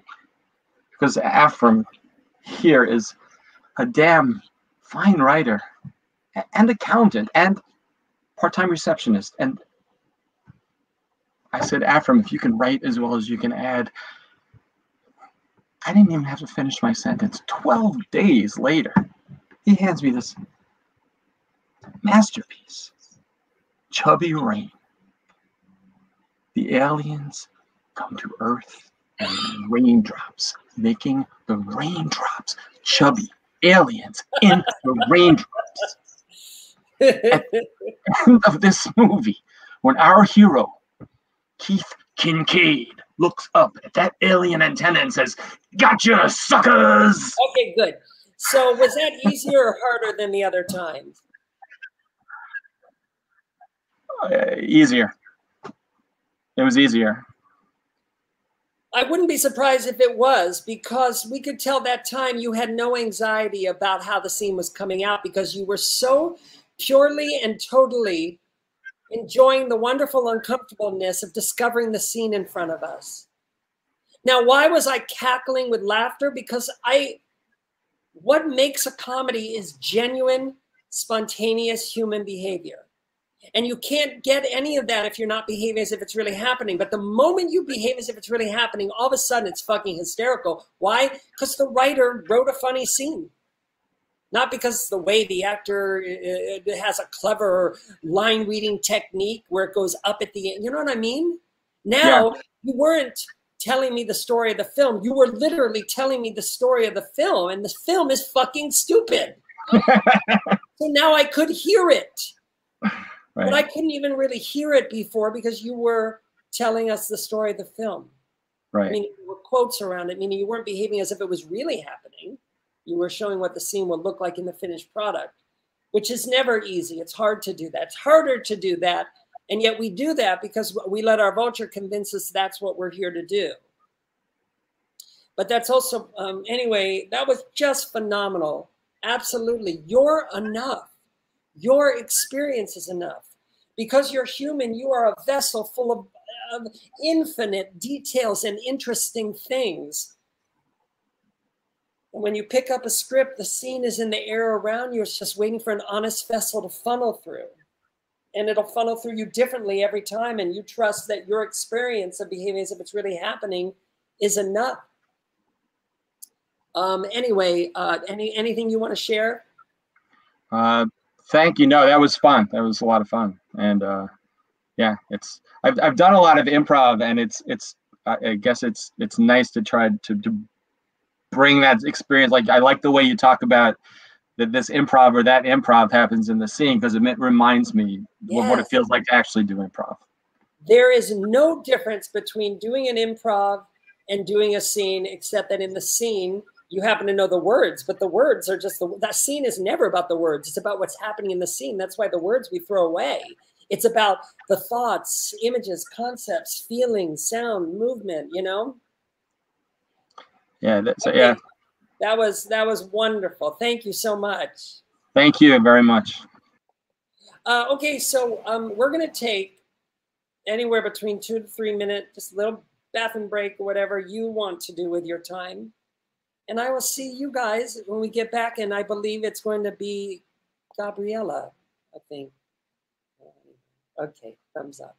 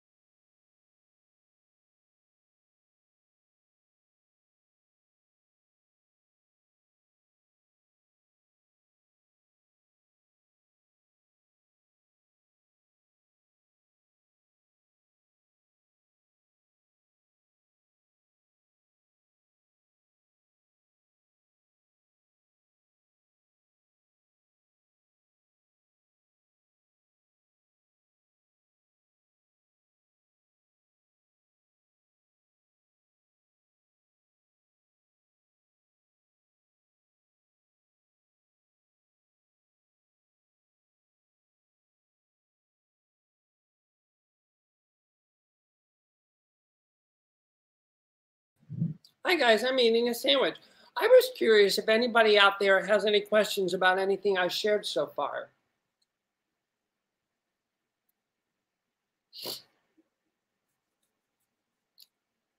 Any questions? Okay. I'm gonna keep eating for a moment, sorry, because I'm hungry. Oh, look at that, there's chats happening. Oh, isn't that nice? Um, I love that you guys are writing to each other in the private chat. That's adorable.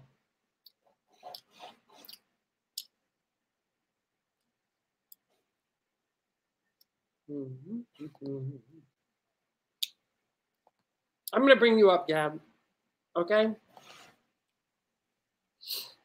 Hi. Hi. How you doing? How are you? I'm okay. What scene are you doing today? I haven't, I opened it. Laura, Laura. can you tell us about the, I don't know this scene. I gave it to you, but I don't know it. What is it? Yeah. Um so she lost her daughter. Her daughter died and she just got served a restraining order against someone. Uh, um, sorry, her daughter died, but wasn't murdered, right? Uh no, that's not really implied in the I think she So it just says, it says Laura has just discovered Bailey shot her daughter. Oh. Oh, I think we're I think you're looking at a different one. There might be Oh, you're not doing Laura's bungalow kitchen night? No, this is bungalow porch. Well, are you doing okay, Alani and Laura. Elani and Laura? Mhm. El- okay, okay. So what's the name of the file? Because I have to find it. Oh, let me let me see. I think it was just Laura. I think. Uh, uh, uh. And did you mail me this, or did I mail you it? Mm, you mailed it to me a long time ago. Laura Sides. It's Laura Sides. Laura, P- yeah, I I emailed it it back. Laura and Bailey? No, Laura and Alani.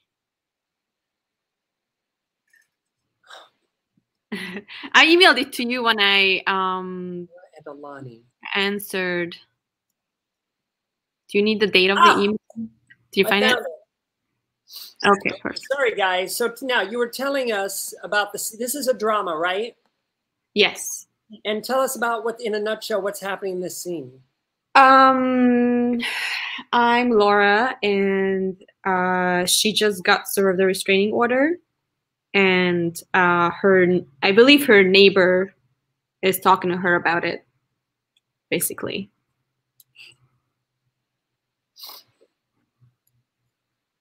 So we're on Mia's bungalow.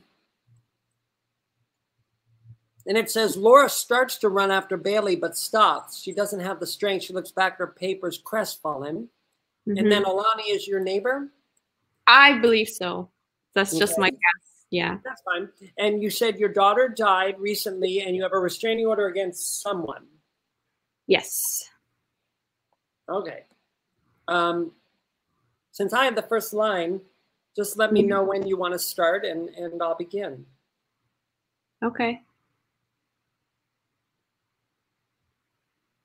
Tough day. You have no idea. Just got server restraining order What? for being a moron, for uh, letting my fear and anger get the better of me. Lonnie, this restraining order is for three months. If that girl comes to the beach, I, I, can't work. What girl? I can't get into it. Laura, what's going on? This behavior isn't who you are. It isn't. I have no idea who I am anymore. You need to get away. Can't get away right now. Have Mikey look after your classes. No, no, he can't. He can't look after Bailey. I can't leave now. She just moved in. Bailey moved in? Yeah. Last night. I told her she could stay as long as she want. Mia needs me and, and she need and I, I need her. Didn't you mean Bailey? You said Mia. Did I? Laura, pretending Bailey is Mia won't bring her back. I'm not pretending Bailey to be Mia. Laura, I understand why. You don't understand nothing.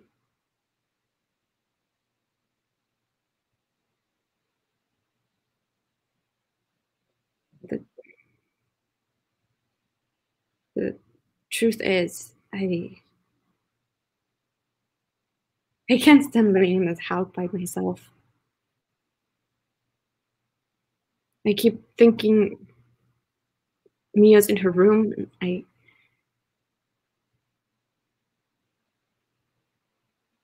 fill the fridge with her favorite food and I can't throw him out. And yes, Bailey, Bailey really does really need me, but I really need her.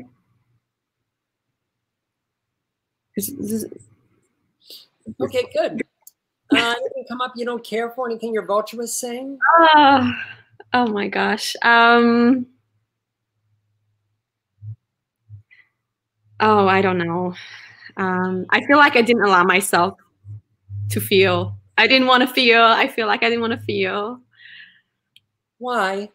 I don't know it's. Why do you think you didn't want to feel? Can you say it again? It's vulnerable. do you think this character wants to um, go th- have this scene or go or go through this? Mm-mm. So the fact that you don't want to go through it completely aligns you with it. Guess so. Nonetheless, you only have one life to live, Mm. and acting's fucking uncomfortable. And the universe always pays off to a joyful risk.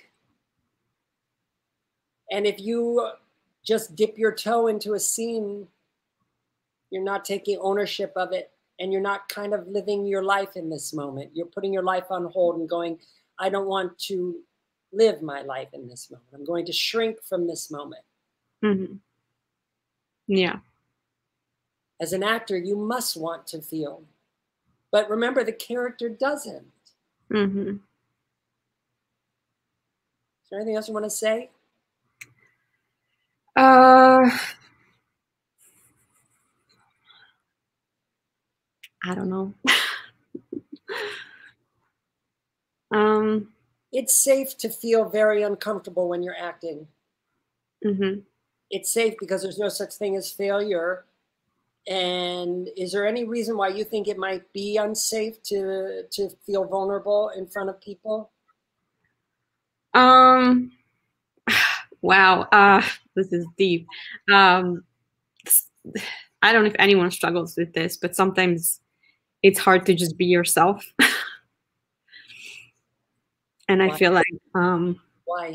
I'm crying. Come here for you. Share it with us. It's often a breakthrough when it's when an emotion comes up. Um, up for you right now? um, whew.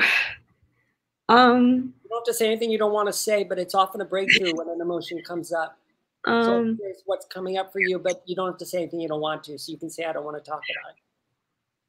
No, there's nothing specific in my life. It's just how the world is. Um, How the world is? yeah, just you know how it's kind of hard to be yourself because I feel like people are judging you, and I know it's stupid. And Who? What is people ju- are judging you remind you from your childhood? mm, I don't know. It's Okay. just Well, okay. Um, so if people are judging you, first off, um, make sure to read uh, the chapter about how when someone doesn't like you, so you Mm. can understand that when someone doesn't like you, it's not about you. uh huh. It's about them and their own dislikes. And you'll never get them to like you because they just don't like your type of person. And it doesn't actually mean anything about you. Right. And that you have permission to hate them. So you can just be like, fuck, fuck them. they don't want to be in my life. I don't want them in my. I don't want them in my life. Mm-hmm. As an artist, you have to find your way to being okay, being seen exactly as you are, and to do that, you remind yourself that when someone doesn't like you, it's not about you. Yeah, I think this is what I'm struggling with, um, just to show myself because um, but guess you know. what? Showing yourself is the easiest thing in the world because if you do nothing but just sit in front of us and breathe, we see you. Right. Mm-hmm. I see you right now, unless you sort of layer in front of yourself a sort of thin layer of idea of character and scene to protect yourself. Mm-hmm. Since you do that. Mm-hmm. Marianne Williamson has a quote on my website about how we're not afraid of our faults, but about our greatness. But you'd have to go find it. It's in that chapter. But Mm. um, but you only have one life to live. Um, Mm. Anyway, I want to remind you the literal obvious circumstances is that your daughter died recently. Mhm. Now, when I act, I know that in the room, the universe will send me everything I need, which is I'll feel incredibly uncomfortable, vulnerable, and tense, and my heart will be racing. I'm fucking ready to feel. Now, just give me a circumstance to put in my belly. Oh, my daughter just died. As an actor, I want to feel. I want to feel. And in a scene like this, when that moment comes, I want to cry because it's what the script says but I remember the character doesn't, so I'm going to push it down. But I've been pushing down the the sadness and devastation about the death of my daughter and having to actually accept that she's dead for a week now or two weeks, right? So it's already up here when the scene begins. I've been Mhm. pushing it down. When I push it down, it grows stronger, right? Mhm. This entire scene is about what comes out later. Mm. But when you get to that moment, tell yourself, when you get to close your eyes, breathe, tell yourself, I'm going to just stop there. I'm in no rush to continue the scene. And Mhm. universe, I ask you to send me a gift of an image or a thought that I might react to emotionally. And if you don't, that's fine. I have faith I have the character's thoughts and they're big ones. And the words I'll throw away. But when you see a big chunk, you throw it away because it's all- it's an improv about the last week of torture since your daughter died. Hmm. Take it from where you are. You're not even an actress, and the director says I already have it. So I don't care what you do. You know, uh, just want to surprise yourself and take all the time you want, and you permission to to do it badly. You don't have to make any choices. Instead, you'll just see what happens to you. The words you throw away because you have faith, you have thoughts and feelings. And I hope the audience feels so fucking uncomfortable watching this. And you'll do that by not taking care of it at all and instead just seeing what happens to you when you behave as if this is really fucking happening. And you're going to take ownership of it. She's hiding, pushing down something. Here we go. Fuck it. Tough day. You have no idea. Just got served a restraining order For what?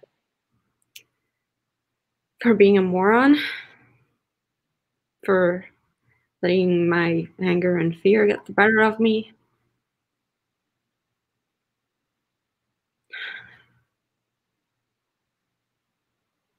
Restraining orders for three months.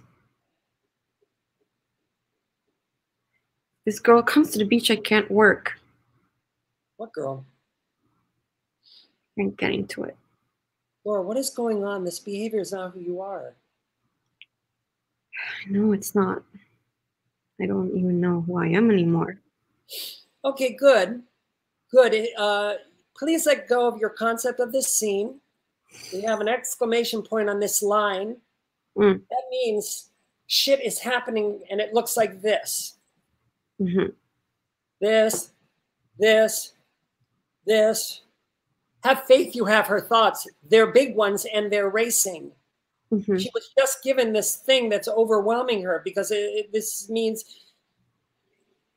you don't have to know what's happening in this scene, but have faith something big is happening. And it's not about leaning back, sort of in a sullen. This is about thinking out loud because you're in a dark place and there's shit in her life that she does not know what to how to deal with it. Get up and walk all the way to the back wall, touch and come back.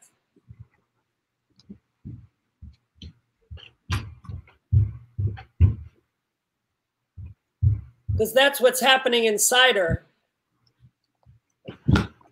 Fuck it. Tough day? You have no idea. It's got server restraining order For what?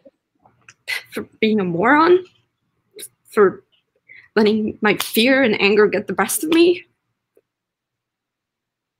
Lonnie, this restraining order's for three months. If this girl comes to the beach, I can't work. What girl? I can't get into it. Laura, Laura, Laura, what is going on? This behavior is not you. I know it's not me.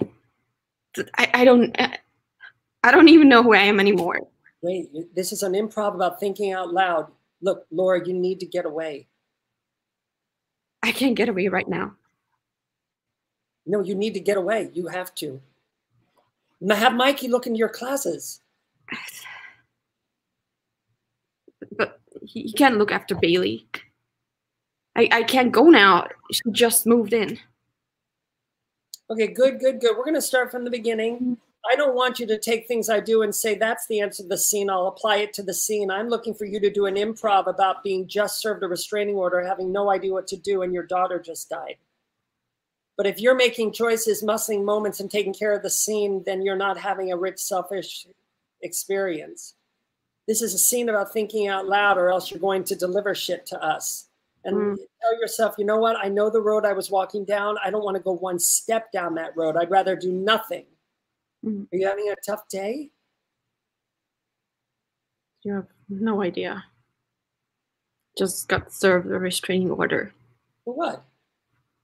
for being a moron, for letting fear and anger get the best of me. Lonnie, this restraining orders for three months. If this girl comes to the beach, I can't work. What girl? I can't get into it. Laura. Laura, what is going on? This behavior is not you. No, it isn't. I don't even know who I am anymore. You need to get away. We can't go on a trip right now. Have Mikey look after your class. Uh, but he can't look after Bailey. I can't leave now. She just she just moved in. You know, the thing about you is you will you're very smart and you'll always try to figure out what Jack wants this time.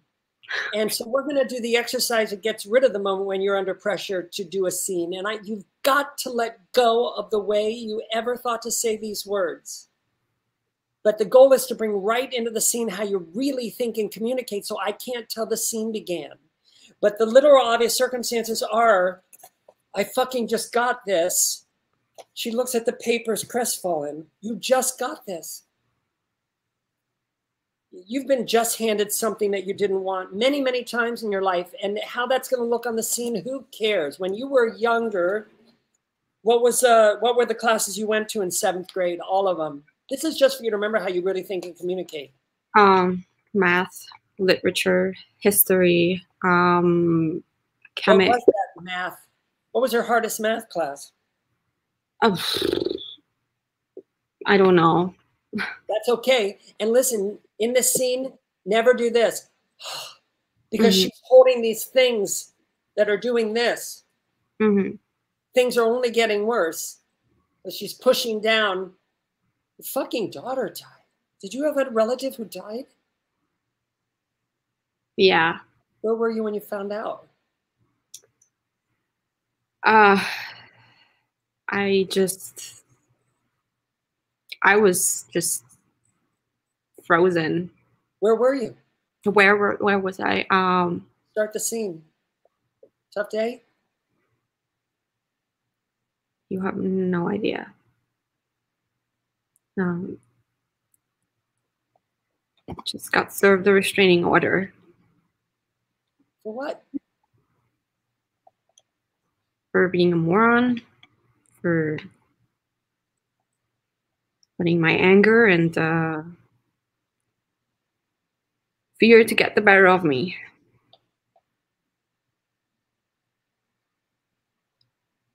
Lonnie, this this restraining orders for three months. If, if that girl comes to the beach, I, I I can't work. What girl? I can't get into it. Laura, what is going on? This behavior isn't you. No, it isn't. I Okay, so so listen, you're not going to be able to do this scene if you think that it, that Alani, this restraining orders for three months is this. Alani, this restraining order is for three months. You have to have faith that you're pacing inside, but you are just so married to that moment, looking like that, that you're get, you're in the way of the scene, dear. mm. hmm What got you the restraining order? You went to some guy's house. You fucking threw a brick through his window. You fucking idiot. Why do I? I I'm my daughter fucking died. You got served a restraining order for what, honey? For what? For what? Why? Start. Mm. Why did you get served a restraining order? For being a moron, for letting my fear and anger get the better of me. Alani, this restraining orders for three months. If this girl comes to the beach, I can't work. What girl? What girl are you talking about? I can't get into it. Laura, what is going on? This behavior is not you. What is going on? I don't even know who I am anymore. Oh, jeez, you need to get away. I go on a trip right now. Mikey, look after your classes. No, no, he can't look after Bailey. I can't leave now. She just moved in. Bailey moved in? Yeah, last night I, I told her she could stay as long as she wants. Mia needs me and I need her. Wait, don't you mean Bailey? You said you said Mia. Did I? Laura, pretending Bailey is Mia won't bring her back. I wasn't pretending Bailey to be Mia. Laura, I understand why you would want You understand nothing.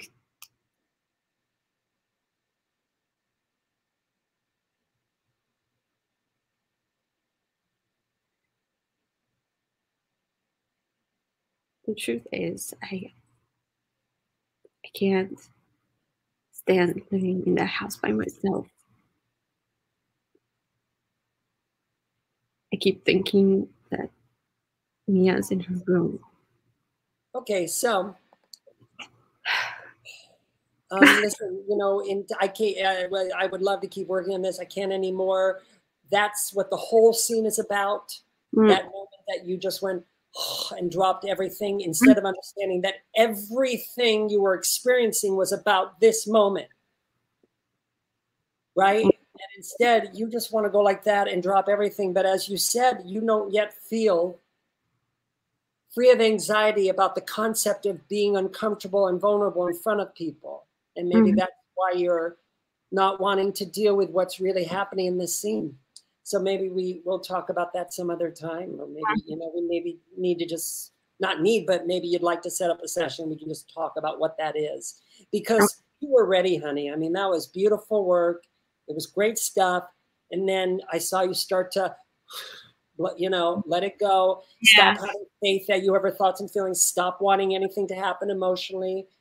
And everything you were going through about this is where this is, it was all about this thing, which is I can't be alone. I can't, I can't, I'm, you know, the ghost of my daughter is all around me all the time. And I can't, you know, I'm, this is, I'm just not, I'm not really acting right now, but you see, it Mhm. just comes spilling out of you in a torrent of finally you felt safe enough in front of someone to say what's really happening. And you just seem to want to do that. That's okay. Yeah. Forgive yourself unconditionally. There was some nice work, but you're going, it's a lot of you going for a quality or answer for a scene instead of wanting to just say, this scene is going to funnel through me if I behave as if it's really happening. Mhm. Okay. See ya. Thank- Uh, okay, so this is now Stephen. Hello. Hi. Hi. Steve, Steve. how are you? Good. How are you? Well, after that, wow. What, Uh, what- no, it's just just uh, Gabrielle going through that. It was uh, uh, it was amazing. It was kind of deep, so oh, had an effect nice. on me too. Well, the scene we're doing with you Yeah. definitely not about sadness necessarily. Um, this is a, a hour-long drama. It's from Cold Case, and um, you're playing the store Right. owner of a raw food store and holistic center. I'm a cop who um, it says that you are a man wearing. I'm reading this for the audience. A man wearing loose-fitting linen and eating a bowl of what looks like dried cranberries, and that he laughs at this cop. And the cop is looking for evidence of a killing of, you know, a cold case that may have uh, taken place in your play in your store. So, because you have the first line, I'll let you begin when you're ready. Okay.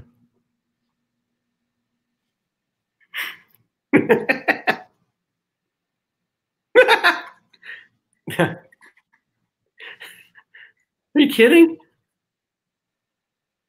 Right now, it's been 27 years since this building was Valentine's Five and Dime. you don't say. No, it's it's a it's kind of out of the realm of possibility that you could find a 50 year old bullet. Could have gotten lodged in a wall or a floorboard. So, so what? No, you you think that you're gonna dig in my walls or my floors? Well, it's not out of the realm of possibility. These these walls are fresh. I just had them painted. And my floors are Malaysian bamboo. So, you know, maybe you could look somewhere else for your phantom bullet. You find anything during that remodel? Uh, like uh, bullet? Uh, no. Unless I find out you tamper with evidence, I'll stick you in the slammer with guys who ain't familiar with Buddhist teachings. You do. And the karma's going to be all over your ass.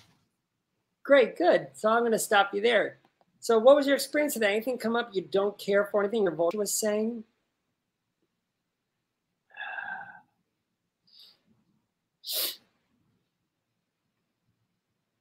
My vulture was judging kind of how it was going briefly. And what specifically was your vulture saying about how it was going?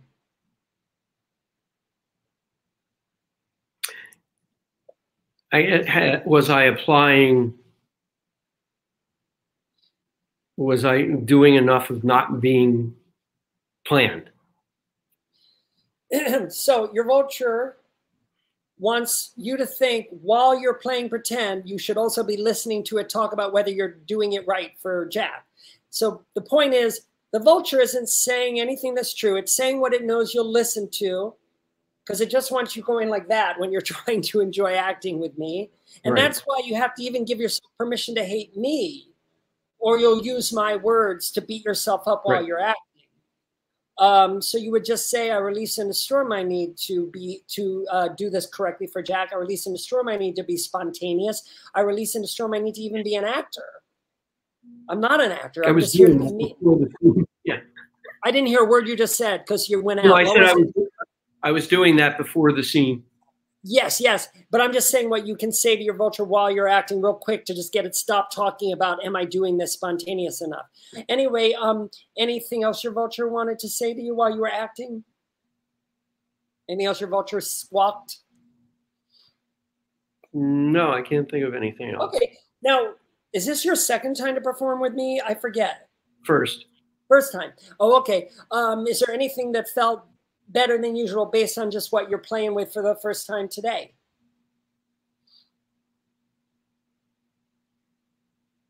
mm, not really outside of, of what you give to me, which Okay. And um, is there anything else you want to share about your experience of doing it? Other than hearing the echo in the room that I'm hearing right now, was was there. Um, that kind of took me out in my head a little bit. Now, um, my reality is that I'm never out of a scene until I break character and go, oh, I'm sorry, this echo's driving me crazy. Because right. what you have to understand is that they can't read your thoughts. Right. And when an actor has what I call an actor thought, meaning it's not your vulture saying you're a bad actor or hurry up and keep the scene moving, a thought like, oh, my voice is echoey. What you want to do is imagine that your, your brain is a room with two doors and the actor thought just comes in one door and out the other. But the problem is actors have an actor thought come into their head and they grab it by the shoulders and they go, what are you doing in here? You don't belong in here, you know? it's fine. That, that, that's that actor thought – eh, it's just coloring the scene. Who knows? It's not the goal. We don't want to have thoughts outside the circumstances, but of course you always will. Right. You'll be like, oh, that casting director just picked her nose, or oh, I just said that line in a surprising way. But who cares? It's not breaking character, and it just will color the scene in some interesting way. Um, okay, so anyway, I thought that was a nice audition. Are you from theater? Uh, not for. I mean, in and out. I mean, I've been in, oh, okay. in. Okay, I was just curious about your background. Anyway, I thought it was a really nice audition because you were behaving as if it's really happening. But I didn't start booking dramas until I really committed to not making choices and instead allowing them to happen. Because what's happening today is you're just muscling the scene too much. You're making too many choices. And you're doing it because you're having a responsibility because you think, well, I know I'm not supposed to like muscle the whole scene and make all, but certainly I have to make a few choices, right? Just to make sure the scene looks good. That's how I used to think, right? And so my auditions were fine, but I wasn't booking. And it wasn't until I finally understood no, you can't make any choices that I really took. It was like I had one finger around the safety bar of making choices. And when I finally took that finger off, I got to feel what drama acting on film should feel like, which is jumping out into darkness and trusting a net will catch you. And to do that, you've really got to trust that if nothing happens, it's better than what you put there. Because you can't put things there. You could be in a, in a in a film audition when the camera's like this and they they see and feel everything. And also in real life, we don't muscle moments and make choices. And they yeah. see it doesn't look like real life. So anyway, yeah, I started. I think I'd planned. I started one way, and then I read your book, and I was like, oh, I wasn't supposed to do it. So it's like I'm trying to not. I'm, I'm in the end, it doesn't matter how we prepare because you can always mm. let go of anything easily. But okay. what I recommend people is don't do any of that work that in the end you're just going to end up throw, throwing away anyway because you don't want to set grooves in that you're going to fall into and feel a responsibility right. to anyway. So in a drama, all your vulture wants is for you to muscle it or make choices. They mean the same thing, and because that way you won't get a callback. So what happened was you turned your drama audition into a very nice filmed half hour comedy audition, not because you were trying to be funny, but because you were muscling it because you can muscle moments and, and squeeze moments in a filmed half hour comedy. And it, and it did almost kind of feel like you, you were tickling yourself a little. And I wouldn't recommend doing that uh, in, a, in this in this scene necessarily because if the, if the writing is sort of quirky or funny, it's in the writing. So don't play into it because it's just going to make you make make choices, muscle moments. Um, okay. Now, we're going to talk for a moment then i will have you do that exercise because i just love i love to get to do it with newer people because it's such a delicious exercise. But first i want to share with you a couple things. In a literal obvious circumstances are you're talking to a cop. Now when i talk to a cop i'm like what do you need sir? Anything right? But we know that this guy's circumstances are that he doesn't really care what a cop thinks or feels. Mm-hmm. Okay, so that, there's that. And when you're playing people who don't care how other people think or feel, I just recommend actors give themselves permission to hate their audience so that they don't take care of their audience because because characters like that don't take care of the other people. They just have an experience and they don't give a fuck what anyone else thinks. Um, when we do this exercise, I'm going to talk to you about your life so you can remember how you really think and communicate And then the goal is that when I say start the scene, you're going to just start the scene without looking at the script. You want to jump into the scene, but bring right with you into the scene how you really think and communicate so we can't tell the scene even began. You follow? Yeah, yeah. And to do that, you want to let go of any way you thought to do the scene because, well, we already saw that anyway. And instead, just, I'll just, I'll just Yeah. do an improv about a cop telling me he's going to dig into my walls. And I just think that's fucking ludicrous. Right. And then you don't know what I'm going to say, and you don't know what you're going to say. So when you were younger, what were some street names in the neighborhood you grew up in? This is just for you to remember how you Okay. Uh, um, Brompton, Yataruba, uh, St. Luke's. uh, you went to. I'm sorry. What were the names of some schools you went to? Uh, Woodmore, Woodlawn Junior, Woodlawn Senior, Oklahoma Was City University. teacher who was an idiot? Not because not because they scared you, just just a bad teacher, just hated that class. Huh. Yeah, Mr. Devon. Why? Well, Mr. Devon had a way of, of uh, correcting something. I had once signed a blank paper that was actually, Start the scene. you're kidding, right?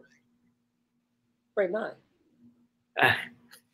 Uh, since it's been 27 years since the store is uh, open, the holiday, the Okay, good, good. It's very uncomfortable when you feel that feeling of jumping out into darkness and trusting a net will catch you. And what happens is, as actors, when we start to feel uncomfortable, we do things to make ourselves comfortable. But in a drama, that ruins your audition because an audience wants to feel wildly Mm. uncomfortable watching a drama scene. And if you're comfortable or making them comfortable, they'll feel comfortable, i.e., bored. And so you have to be okay feeling wildly uncomfortable. You should actually want to feel wildly uncomfortable because that way the audience will feel wildly uncomfortable. Right. And so um, tell yourself, I'm not going to make any choice, which is liberating. If you just stood there and just waited till the words came out of you, that would be better than you feeling like you have to do things. okay. Because again, this character doesn't do anything to make people comfortable. How did it feel being in that class that you Uh, hated? And again, the goal is to bring right into the scene how you really think and communicate. And listen, hope you forget the words because this isn't a scene about a guy who knows what he's going to say. So it's fine if you don't, right? But anyway, how did it feel being in that guy's class who was such a prick? Well, given the fact that he kicked me, that we were out of the class, I was out of the class with some kids and we weren't allowed to talk to them for a period of time to, as sort of a punishment. Um, the fact that I can remember his name, that they did that punishment? yeah, you think So- that's fair? That sounds crazy. They didn't let you talk to the kids? Explain no, that. it was very well. No, it was very, it was very traumatic, and to this day, it's still in my mind. The fact that we were on a dodge playing dodgeball or whatever, we'd be sitting by the fence or Oh, whatever. scene. You're kidding, right? Right not. Well, it's been 27 years since this building was a Valentine's five and dime. You don't say. No, it's uh, kind of a out of bounds kind of thing, and and uh, for that you would even find some 50 year old bullet. Well, we think it might have gotten lodged in the walls or maybe the floorboards. Wait, so what you you think you're you're gonna dig into my walls and or my floors? Well, it's not out of the realm of possibility. It's just, these are fresh walls. I just had them painted, and the floor, my floors are, are Malaysian bamboo. So, you know, maybe you should look somewhere else for your phantom bullet. Find anything during that remodel? Like a bullet? Uh, no. Because if I find out you tampered with evidence, I'm going to throw you in the slammer with people who don't agree with Buddha's teachings. If you do, karma is going to be all over your ass. I'll be all over your ass, buddy, with a search warrant. Goji berry? Hey, hey, they're they're make you happy. Yeah, If you eat enough of them, you'll never stop smiling. Good. Uh, was that easier or harder than the first time? It was easier. Was it more fun or less fun? It was more. It was more fun. I mean, yeah. Well, that's what I love about this workshop. Whenever actors have a beautiful adjustment, and that, sir, was a home run of a drama audition. They always say it was easier and more fun, which I guess means acting's easier and more fun than we thought. And if it's better and it's easier, that means it's not better because we worked hard on it or you learned some new technique. That would actually mean it's better and easier because you stopped being involved in things you don't need to be involved in. Things that make your acting harder and not as good, which was anything your vulture was squawking about. Because I'll bet that you'll agree that you didn't have any vulture squawking that time, right? Yeah. Oh, so that means next time you got to do is tell your vulture, up, up. no, I release and destroy my need for anything you're saying. And then you'll do, even if it's true, vulture, I still release and destroy my need for it. Then you'll do what you just did so easily and so well. Uh, because really, all that exercise does is when we're talking about our past, our vulture shuts up, right? And then when you jump into the scene, your vulture forgets you're doing a scene. Now, the affirmations do that better than that exercise. The affirmations make your vulture shut up better than doing that exercise because all that exercise does just reminds you how you think and communicate. And see, Steve, you've been thinking and communicating all day. You don't need to remind yourself how you think and communicate. You do have to let go of some things, which is all the new vulture squawks that are happening when you think it's time to act, right? You know what I mean? Yeah. Now, yeah. Uh, that was a fucking phenomenal audition.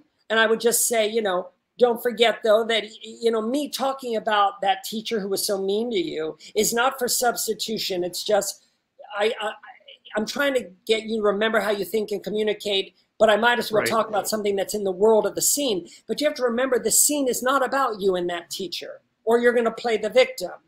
Oh, the right. scene is about somebody yeah. who's picking a fight, Right.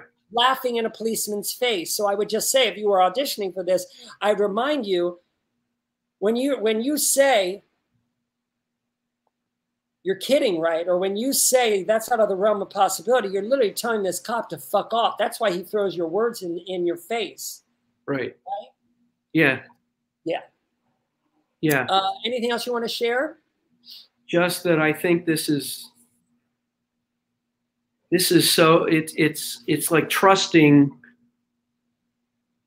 just doing it this way versus you know the need to prepare so that I mean it, it's good to prepare but it, it's it's it's about losing it and really just not like you said not making the choices Yeah, yeah. And all I do to prepare, I do believe in preparing. I just do so little that other teachers would say you're lazy. And what I say is, no, you're teaching actors a bunch of result oriented bullshit to keep them in your class for months and months. right Because the real actors on set aren't doing that shit. And I know that because we're handed scenes right before we shoot. They don't run to their trailer and call their acting coach to go over it with them. I mean, you know, the truth is, in my book, healthy comprehension, healthy, uh, healthy preparation for a drama audition. Well, really, for all auditions, is just memorize and scene comprehension, and you can read how I do both in my free book.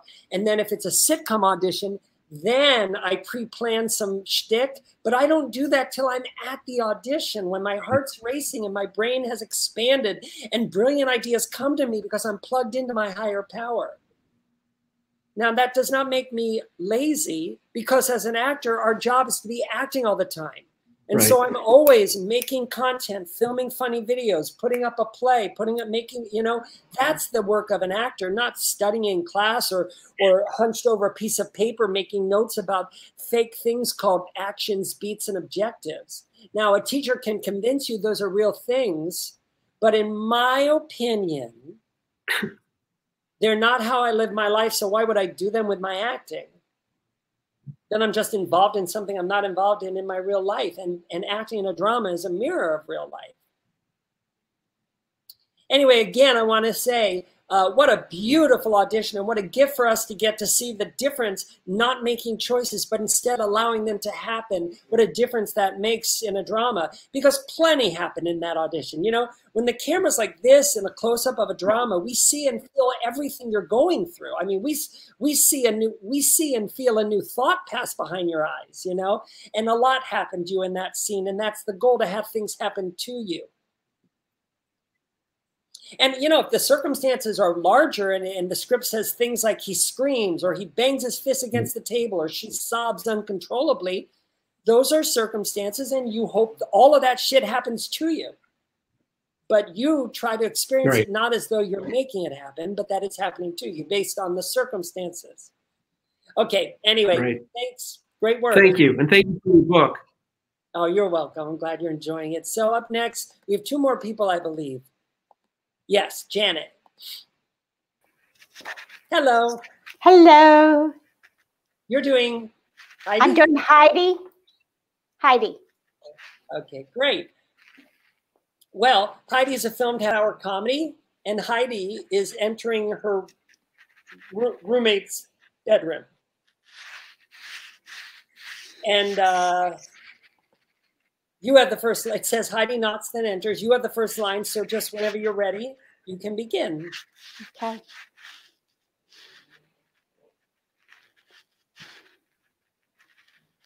Do you have a minute? Not really. Okay. What?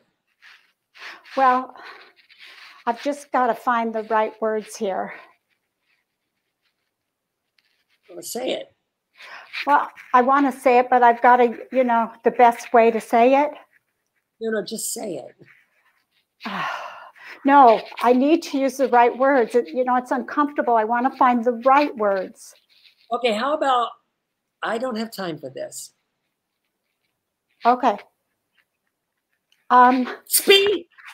Oh, that's not it. That's not it. I just, I just want to tell you, you're a twat. Uh, wow, harsh. I know.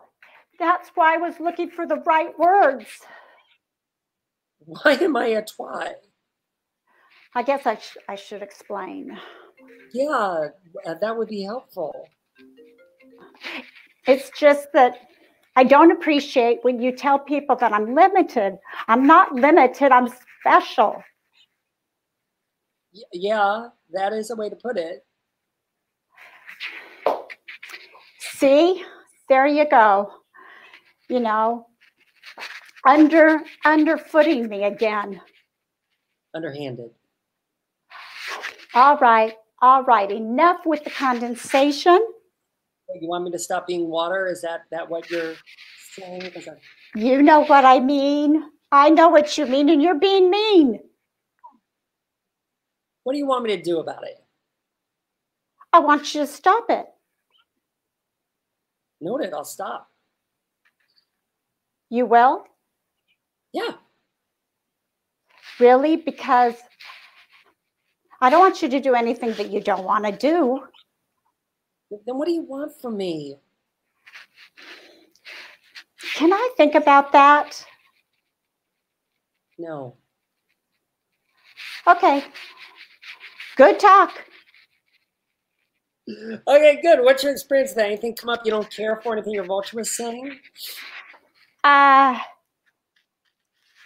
well, yes, because I I boggled some lines, but it was kind of fun to boggle them too. But I kind of went.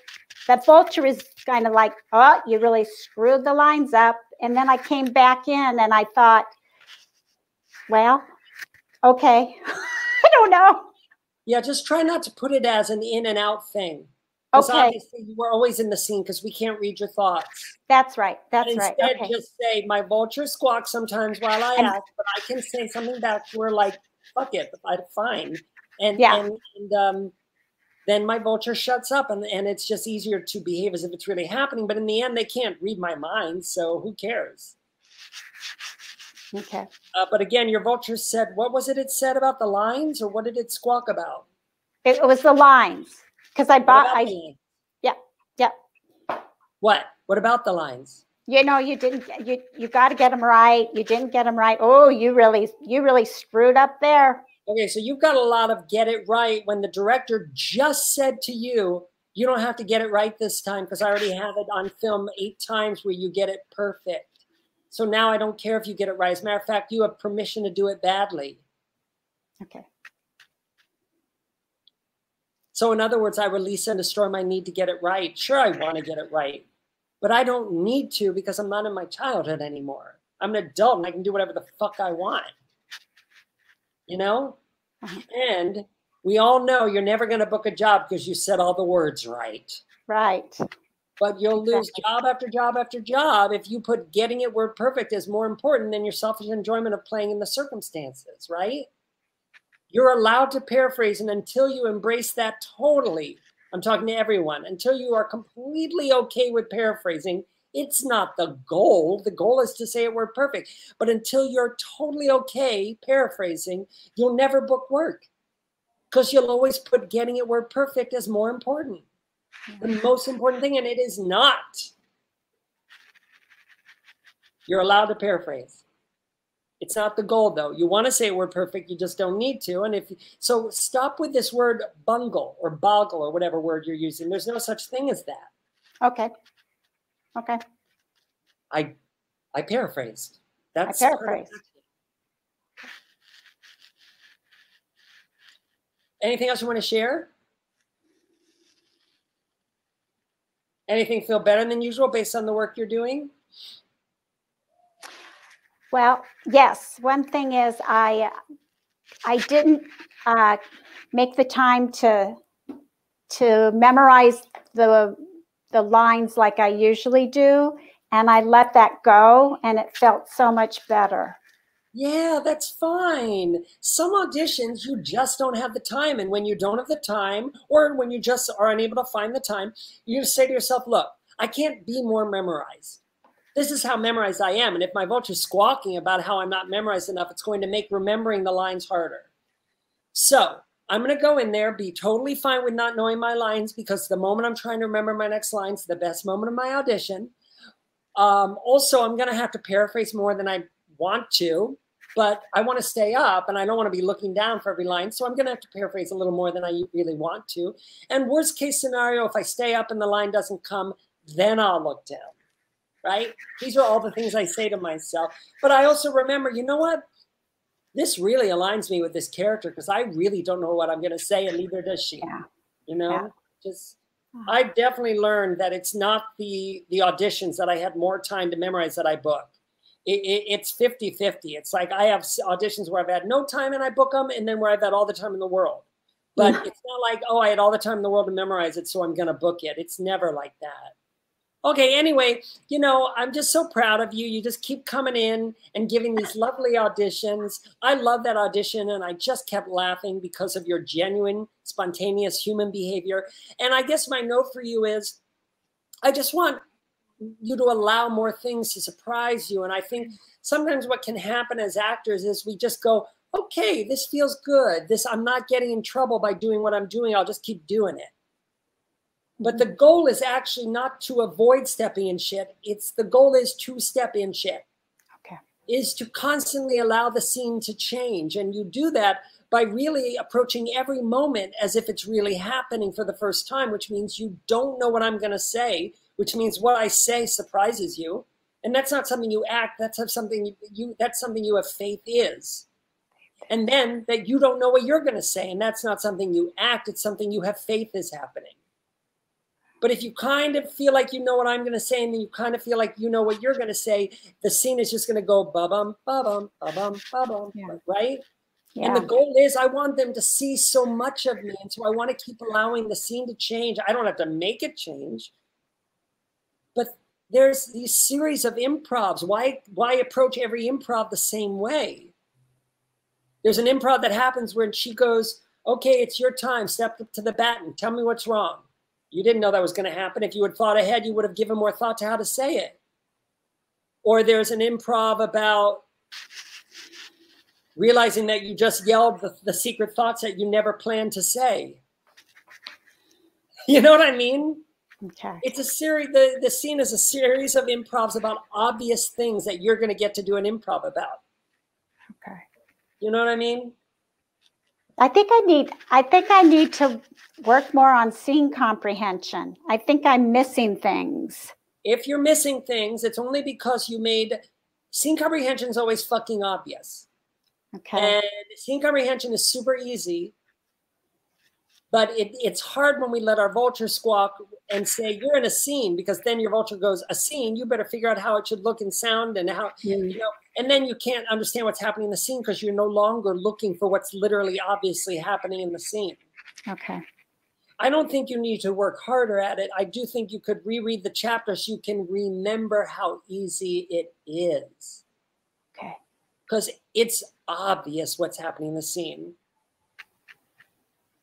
The opening moment is an improv about knocking then entering. Now you can skip it the way you did and book the job, but I certainly don't. The universe pays off to a joyful risk. And if you knocked and had faith that you're stepping in or even move your chair closer, let us, you know, whatever, do an improv about knocking and then entering her bedroom, something will be delivered to you. Some, Okay. And if not, that's okay because at least the director will see, oh, there's that, oh, there's that character Heidi, and I wrote that she enters and she's entering. Even if, you know, even if you don't actually enact it, but have faith it's happening. Okay. Also, she turns to go. You skipped it. Oh, I did. Yep. Yep. Yep. The book worked because I give them what they wrote.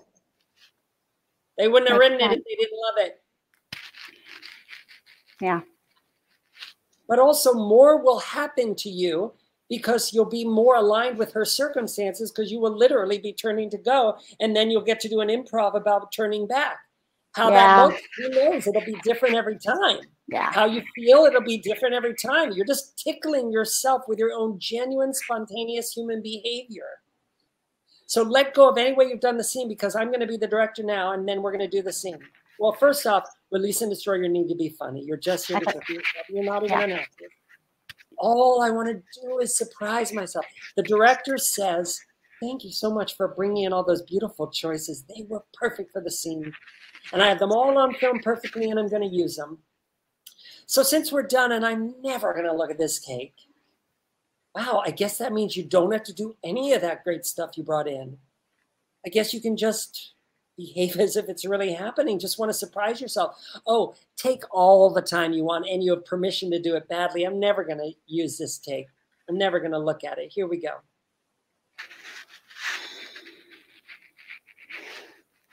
Do you have a minute? Not really. Okay. Wait, what? What? What? Um, I'm, I'm, I'm trying to think of how to say this. Okay, we'll say it. Okay. I'm looking for the right words. Well, just say it. It's uncomfortable for me. I want to find the best words. Okay, good, good. I want you to bring right into the scene how you really think and communicate so we can't tell the scene began. Okay? Okay. You want me to start it?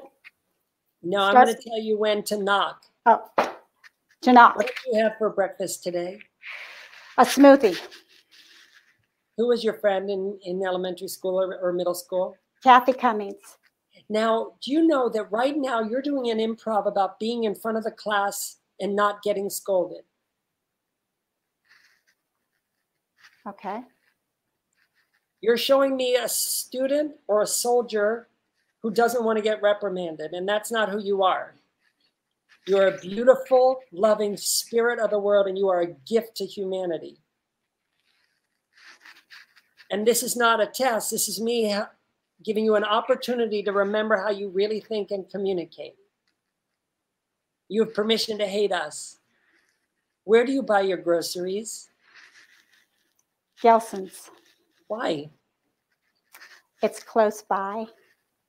And you said your friend in middle school was who? Kathy Cummings. Yeah, why? What was she like? she was just a lot of fun and we used to spend the night at each other's house and we'd make what was her kid that you desperately wanted to be friends with, but they were cooler than you? uh, Kathy Queener. Yeah, why? She just had this big blonde hair and all the boys liked her. Okay, this is a scene about somebody thinking out loud and they have no idea what you have no idea what I'm gonna say, no idea what you're gonna say. Knock on the door.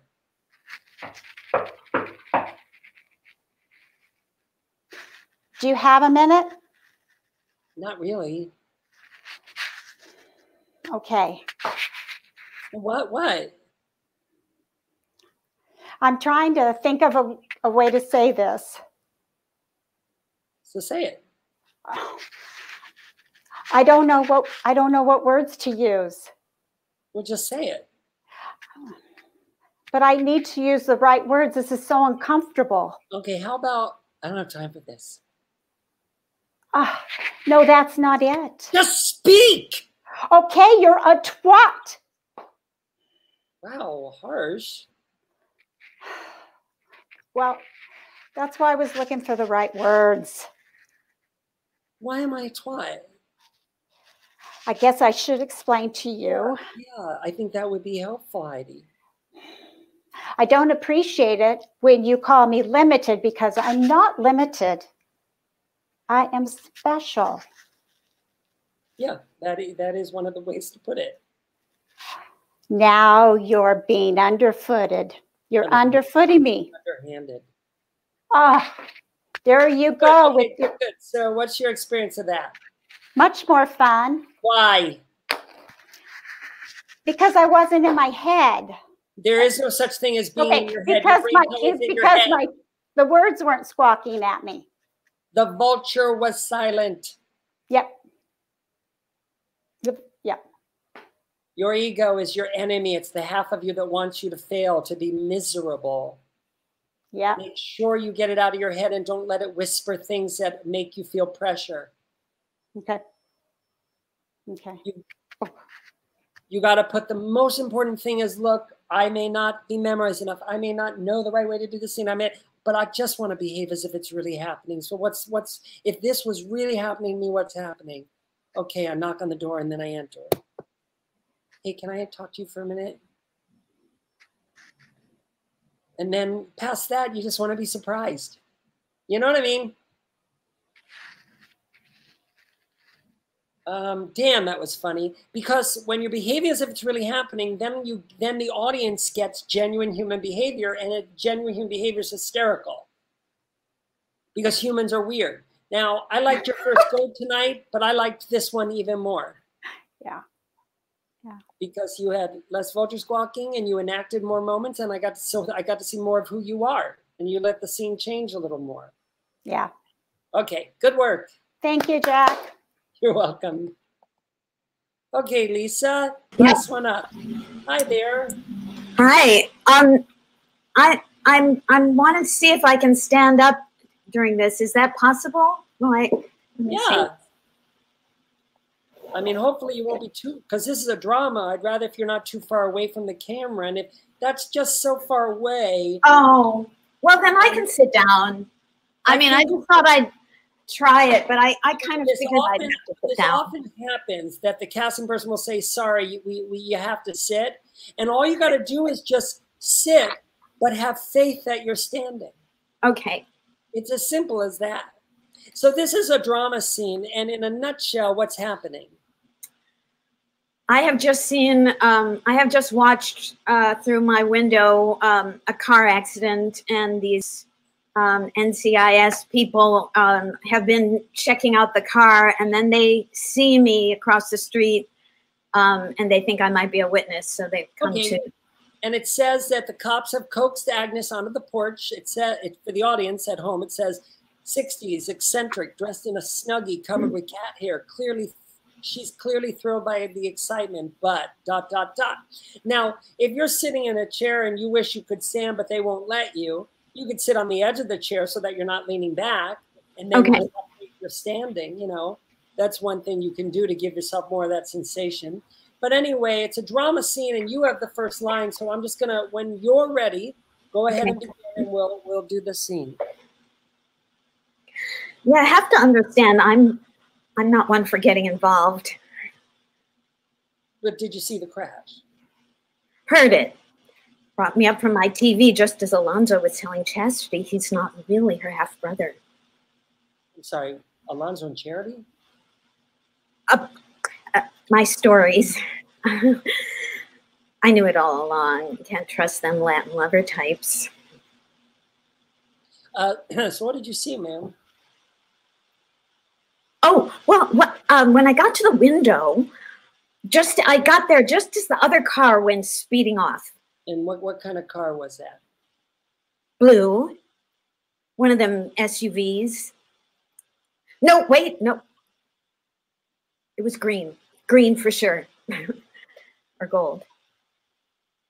Did did you happen to hear anything else, like um, gunshots? Oh, Lord, no. I can't imagine that girl would have come running out of Jimmy's truck if there had been gunshots. So there was a girl. Yeah, pretty blonde. She ran, took right off into the woods.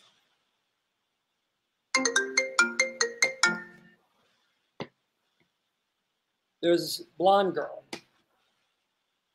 So you know you know Lieutenant Wilt. Jimmy, man's a war hero. Is he going to be all right? The girl. You recognize her? Well, no, but I will tell you, um, it wasn't Mrs. Jimmy. Not that I'm one for getting involved. The lieutenant has a wife.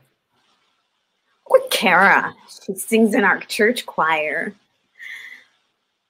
They always looked Good, happy. stop there. Good. What's your experience? Did anything come up you don't care for? Anything your vulture was saying? Um, my vulture was saying uh, a little bit. Um, you're worried too much about being funny. If you become aware that you're muscling a scene around the concept of funny, because all your vulture wants you to do in a drama is make choices and muscle moments, right? To ruin your audition. When you become, when or if you become aware that you might be muscling moments out of a uh, desire to be funny in a drama, you don't want to say, you're muscling moments, because that actually, I have found that doesn't really help. Instead, I use the positive, affirmative, and loving voice to say, hey, you don't have to make any choices, not one.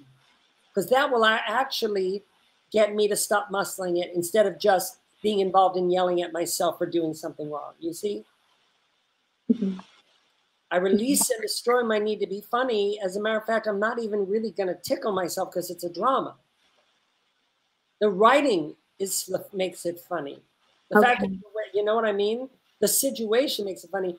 If you want to tickle yourself a little bit in a dramedy, you can, as long as you don't make any choices. But this is NCIS. It's not a, really a dramedy, so you wouldn't even want to tickle yourself at all. It'll just lead you down the road to muscling moments. Anything else your vulture said? And by the way, I'll just say it. You were.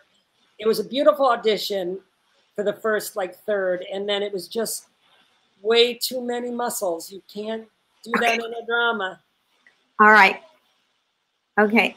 And and we know why because you well, I'm guessing you felt a responsibility to fulfill something you thought was funny about this character.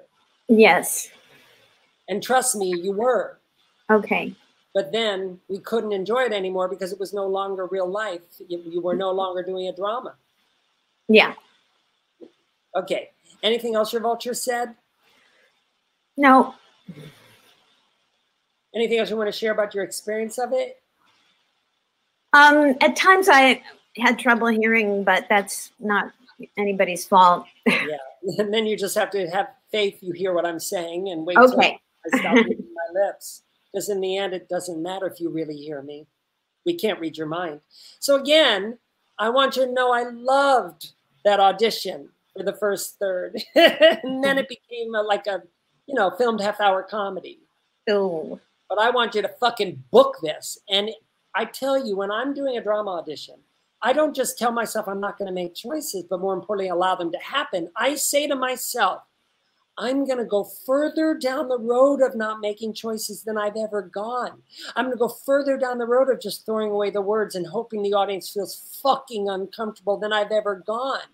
Mm-hmm. Yes, the circumstance in your belly is that you're glad they're here and that you're very interested in what's happening. But if you then feel responsibility by putting that in your head to show us that, it's going to make you muscle the scene. Yeah.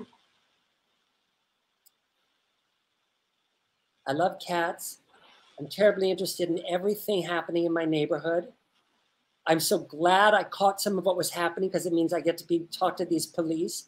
But when I say put it in your belly, I mean throw it away. You're not stupid. You're not going to forget what I just said to you. That stuff's obvious. The more important thing now is to say, I'm not going to make any choices. Not one, because if nothing happens, they'll project on it. Because more importantly, I'm going to allow choice to happen to me based on the circumstances. Number two, the words, I'm just going to throw them away. They'll tumble out of my face. I have faith I have her thoughts and feelings. That's what matters. The words I'll throw away. Number three, I hope they feel fucking uncomfortable watching this, and I'll do that by not taking care of the scene at all, but instead and only being interested in my experience of behaving as if this is really happening to me for the first time. The director says, Thank you for bringing in all those brilliant choices. I have the scene. It lives in those eight, eight takes. We're moving on. Well, you know what? If we're doing it again, I guess that means you don't have to do any of that brilliant stuff. I'm never going to look at this take. I guess you can just behave as if it's really happening and just want to surprise yourself. Oh, um, take all the time you want, and you have permission to do it badly. I'm never going to look at this tape. Fuck it. Here we go. You have to understand, I'm really not one for getting involved. But you did see the crash. Heard it. Got me up from the TV just as Alonzo was telling Chastity he's not really her half brother. I'm sorry, Alon- Alonzo and Chastity. My stories. I knew it all along. But can't trust them Latin lover types.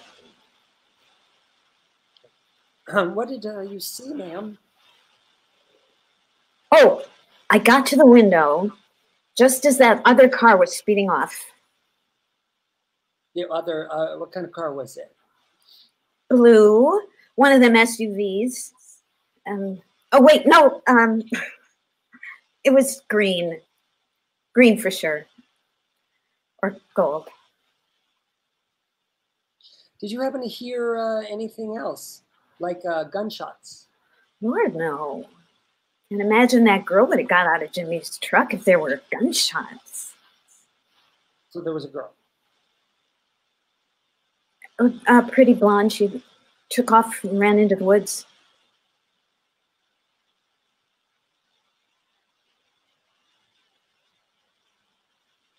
So you, you, you know Lieutenant Will? Oh, yeah. Yeah, Jimmy. Man's a war hero. Is he going to be right? The girl, you recognize her? No, I, no. I will tell you if it wasn't Mrs. Jimmy. Uh, you know, I thought they seemed happy, but now that I think about it, maybe a little too happy, if you know what I mean. I do not.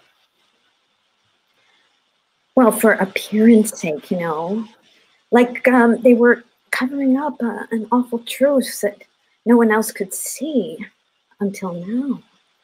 Oh, it'll pain me so to have to call. What you know? I, I forgot to tell you. I forgot. It, Kara, Kara is Jimmy's wife in our church choir. But okay, okay, okay. Oh, sorry, sorry. I don't know why I did that. Well, you went back to get a line that we passed a long time ago, and I would say don't don't do that. Once you don't worry about it. Yeah. yeah, yeah, yeah. But anyway, listen, Lisa. Um, that's a better drama audition, but you know, out the window went all the fun she's experiencing because I know. you took what I said and turned it into a quality that you thought would not get you in trouble. Meaning you just said, Well, I'll just do less. I'll just kind of put a heaviness on this scene. And then out went the she's clearly thrilled by the excitement. So Lisa, you really got to not see me as a teacher or a, or a sergeant, but Okay. as an equal or even a child. You're you're the adult, and this is your art. And you want to have a, a, a- a- a experience where you want to feel, but remember, nobody wants to start screaming in delight. And you certainly, but um, and then I would just say uh, we got a lot of the same line readings and, to, Yeah. and, and, and and that's because you i really if you memorized with line readings please let them go now because those lines are ideas they're concepts they're words that you understand the meaning of that your goal is all i want to do is be surprised and if i just throw away the words and let them tumble out then they can be colored by something bigger than me this is subtle stuff because that was a very nice audition it's i'm just giving you the notes for to make it even better okay honey and then Mhm. um when you're mad at yourself or when you're like frustrated you'll do a big thing like Pah! you know and you don't have to do that you do it to alleviate uncomfortableness All right. you you know what i mean Yeah. the camera's here the camera will come to you you don't have to come to it you just be doing an improv about thinking out loud but god she loves her stories Yeah. She loves them. And the soap opera is equal to the thing happening out there is equal to the take a moment to look at these lines, okay? Yeah. We keep we keep losing the pretty blonde ran off into the woods, or maybe it was red, the SUV. Oh. Pretty blonde, yeah. Oh my God. Oh, who cares? They don't care. Okay. Okay. Yeah. Okay, so that's an improv about what kind of car was that? Blue, period. One of them SUVs, period.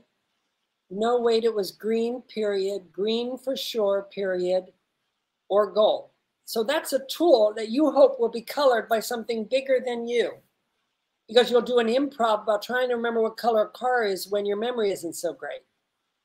But that's for you, not for us. You don't have to show me that. Just have faith that's what's happening and do an improv about it. And it'll look different every time, right? Mhm. Okay, so you're not an actress. Just take it from where you are. You're just here to be you and enjoy playing the circumstances. You love soap operas. You're excited that you're out here on the porch. Put this in your belly because you're not going to make sure you're going to go farther down the road of not making choices, throwing away the words, and hoping that you feel fucking uncomfortable. Take it from where you are. Um, it's an improv. The director said he already has it. It's the ninth take, so this one's for you. Here we go. You have to understand I'm I'm not one for getting involved. But you did see the crash. Heard it. Got me up from my TV just as Alonzo was telling Chastity he's not really her half brother. I'm sorry, Alonzo and Chastity. My stories. I knew it all along. Can't trust them Latin lover types. Uh, what did you see, ma'am? Well, I got to the window just as the other car was speeding off. Yeah, what kind of car was that? Blue, one of them SUVs. Wait, it was green. Green for sure. Or gold. Well, uh, did you happen to hear anything else? Maybe like gunshots? Lord, no. Can't imagine that girl would have got out of Jimmy's truck if there had been gunshots. I'm sorry, there was a girl. Pretty blonde. She just took off and ran into the woods. Fine. This is fine, and it's a very lovely audition. But I want you to go further down the road of understanding that every scene you're going to do, pretty much, is going to be a scene about somebody thinking out loud. So I'd love it to feel a little more of how you really think and communicate, which is you're not handing the people you talk to concepts that you know. but that words are tumbling out of your face because you're having to think as you're talking. So let's remind you how you think and communicate by doing the exercise and then bringing right into the scene how you think and communicate so that we can't tell the scene began, right? When you were younger, what was your favorite hobby? Like, did you play video games or watch movies? What'd you do, Lisa? This is to remember Um, how you communicate. I read um, comic books. Okay, yeah. And which ones? Name them all. Um, Ver- Betty and Veronica, and Why uh, was that your favorite? and um, romantic stories, ro- you know, Betty fairy tales. Why was Betty Veronica your favorite? Um, because I, you know, I could identify with nice Betty and evil Veronica. Okay, which one do you think should end up with Archie? And this is a serious question. Well, that had to be Betty Why? because she was nice. Yeah. Um, when you were younger, was there was there a game on the playground you used to really like to play? No, I hated the playground. I hated. Um, I I was a Where loner. did you prefer to be at, at during that time? What? Where did you prefer to have been at during recess? Yeah, yeah. And I was shy. I couldn't talk to anybody. It was torture. Uh, but where did you feel good around kids? Maybe choir or what? Was there a place though that you did enjoy? Choir. I love choir and dancing class. Starting to start the scene. Um, you have to understand, I'm not one for getting involved. Yeah, but you, you did uh, see the crash? Heard it. It got me up from my TV just as a, just- Alonzo was telling Chastity he's not really her half brother. Oh, I'm sorry. Uh, Alonzo and Chastity? My stories. um, oh, I, I knew it all along. Can't trust them Latin lover types. Okay, so what did you see, ma'am? Oh, well, when I got to the window, I saw um, the other car was speeding off. Yeah, what what what did the car? What kind of car was that? Blue? One of them SUVs. Um, no, wait, it was green. Green for sure. Um, or gold. Lisa, that was the most brilliant. I mean, that that's the kind of audition where they go, we have to give it to this woman. I want you to allow that at every audition because I'll bet you're about to tell us that was easy, aren't you? Very, very easy, very easy. And Yeah. if it's easier, that's because you stopped being involved in a pressure or responsibility based on your culture. What was it you let go of, dear? Yeah, yeah. What was it you Um, let go of? Well, I mean, what that really hit me when you said um, to not think of you as a teacher or a authority or something like that. And then it really helped me when you started go- going like this. No, you. it didn't help you. That had nothing to do with it, dear, because I did this because I was being blown away by a gorgeous, spontaneous performance. And now you're out of the groove. Boy, were you in a groove today. Yeah, yeah. Every time you let the line come out in a way that surprised you, it paid off by being a pow, sock in the face of spontaneity to me, the producer. And I go, shit, if we could get that on screen. Mm. That was so much easier. So I much mean, easier. You just decided, I know how gold sounds, and it sounds like this. No, it was green or gold. Now, look, that's fine if it surprised you, and it was fine the first take because it kind of surprised you, but then you just kept doing that. This time, you didn't just do what the way you didn't go into autopilot and you went, oh no, it was it was green, definitely green. yeah, I think I was in I mean, you remember that spontaneous pow when you went, oh. Honey, you can't fake that. You have to allow it. You have to give yourself permission to have it happen and understand it's what books you the job. Mhm. Not because it it's um, the perfect way to do it, so you should practice it like that and then deliver it to them. No, it's because it you was unplanned and it was you, it was Lisa doing an improv about, oh fuck, I don't know. You know, and you should hope it comes out different the next time you do it. Yeah. You can't fake spontaneity, people. And when something surprises the actor, there's an electric jolt in the room, and everyone in the room feels it. And the more of those you have, the better chance you have of booking the job. That's why every actor's motto should be all I want to do is surprise myself. Mm-hmm. Uh, beautiful work, Lisa. Great job. Thank you. Thank you. Great job. I mean, it's a nice audition to begin with till you start muscling it. But what you just did, that's the kind of audition they go, oh, well, I mean, we have to give it to it. Okay, good work. Um, okay, everyone out there. Again, all the money today went to help keeping elections fair. That's Stacey Abrams Fair Fight 2020. Um, good luck to everyone. Stay safe. Uh, you know, make content. Do your art for the selfish love of doing it. Be kind to yourselves during this period because we're going through trauma together and uh, it will work out okay. Uh, take care of yourselves and thank you again for coming. Bye bye.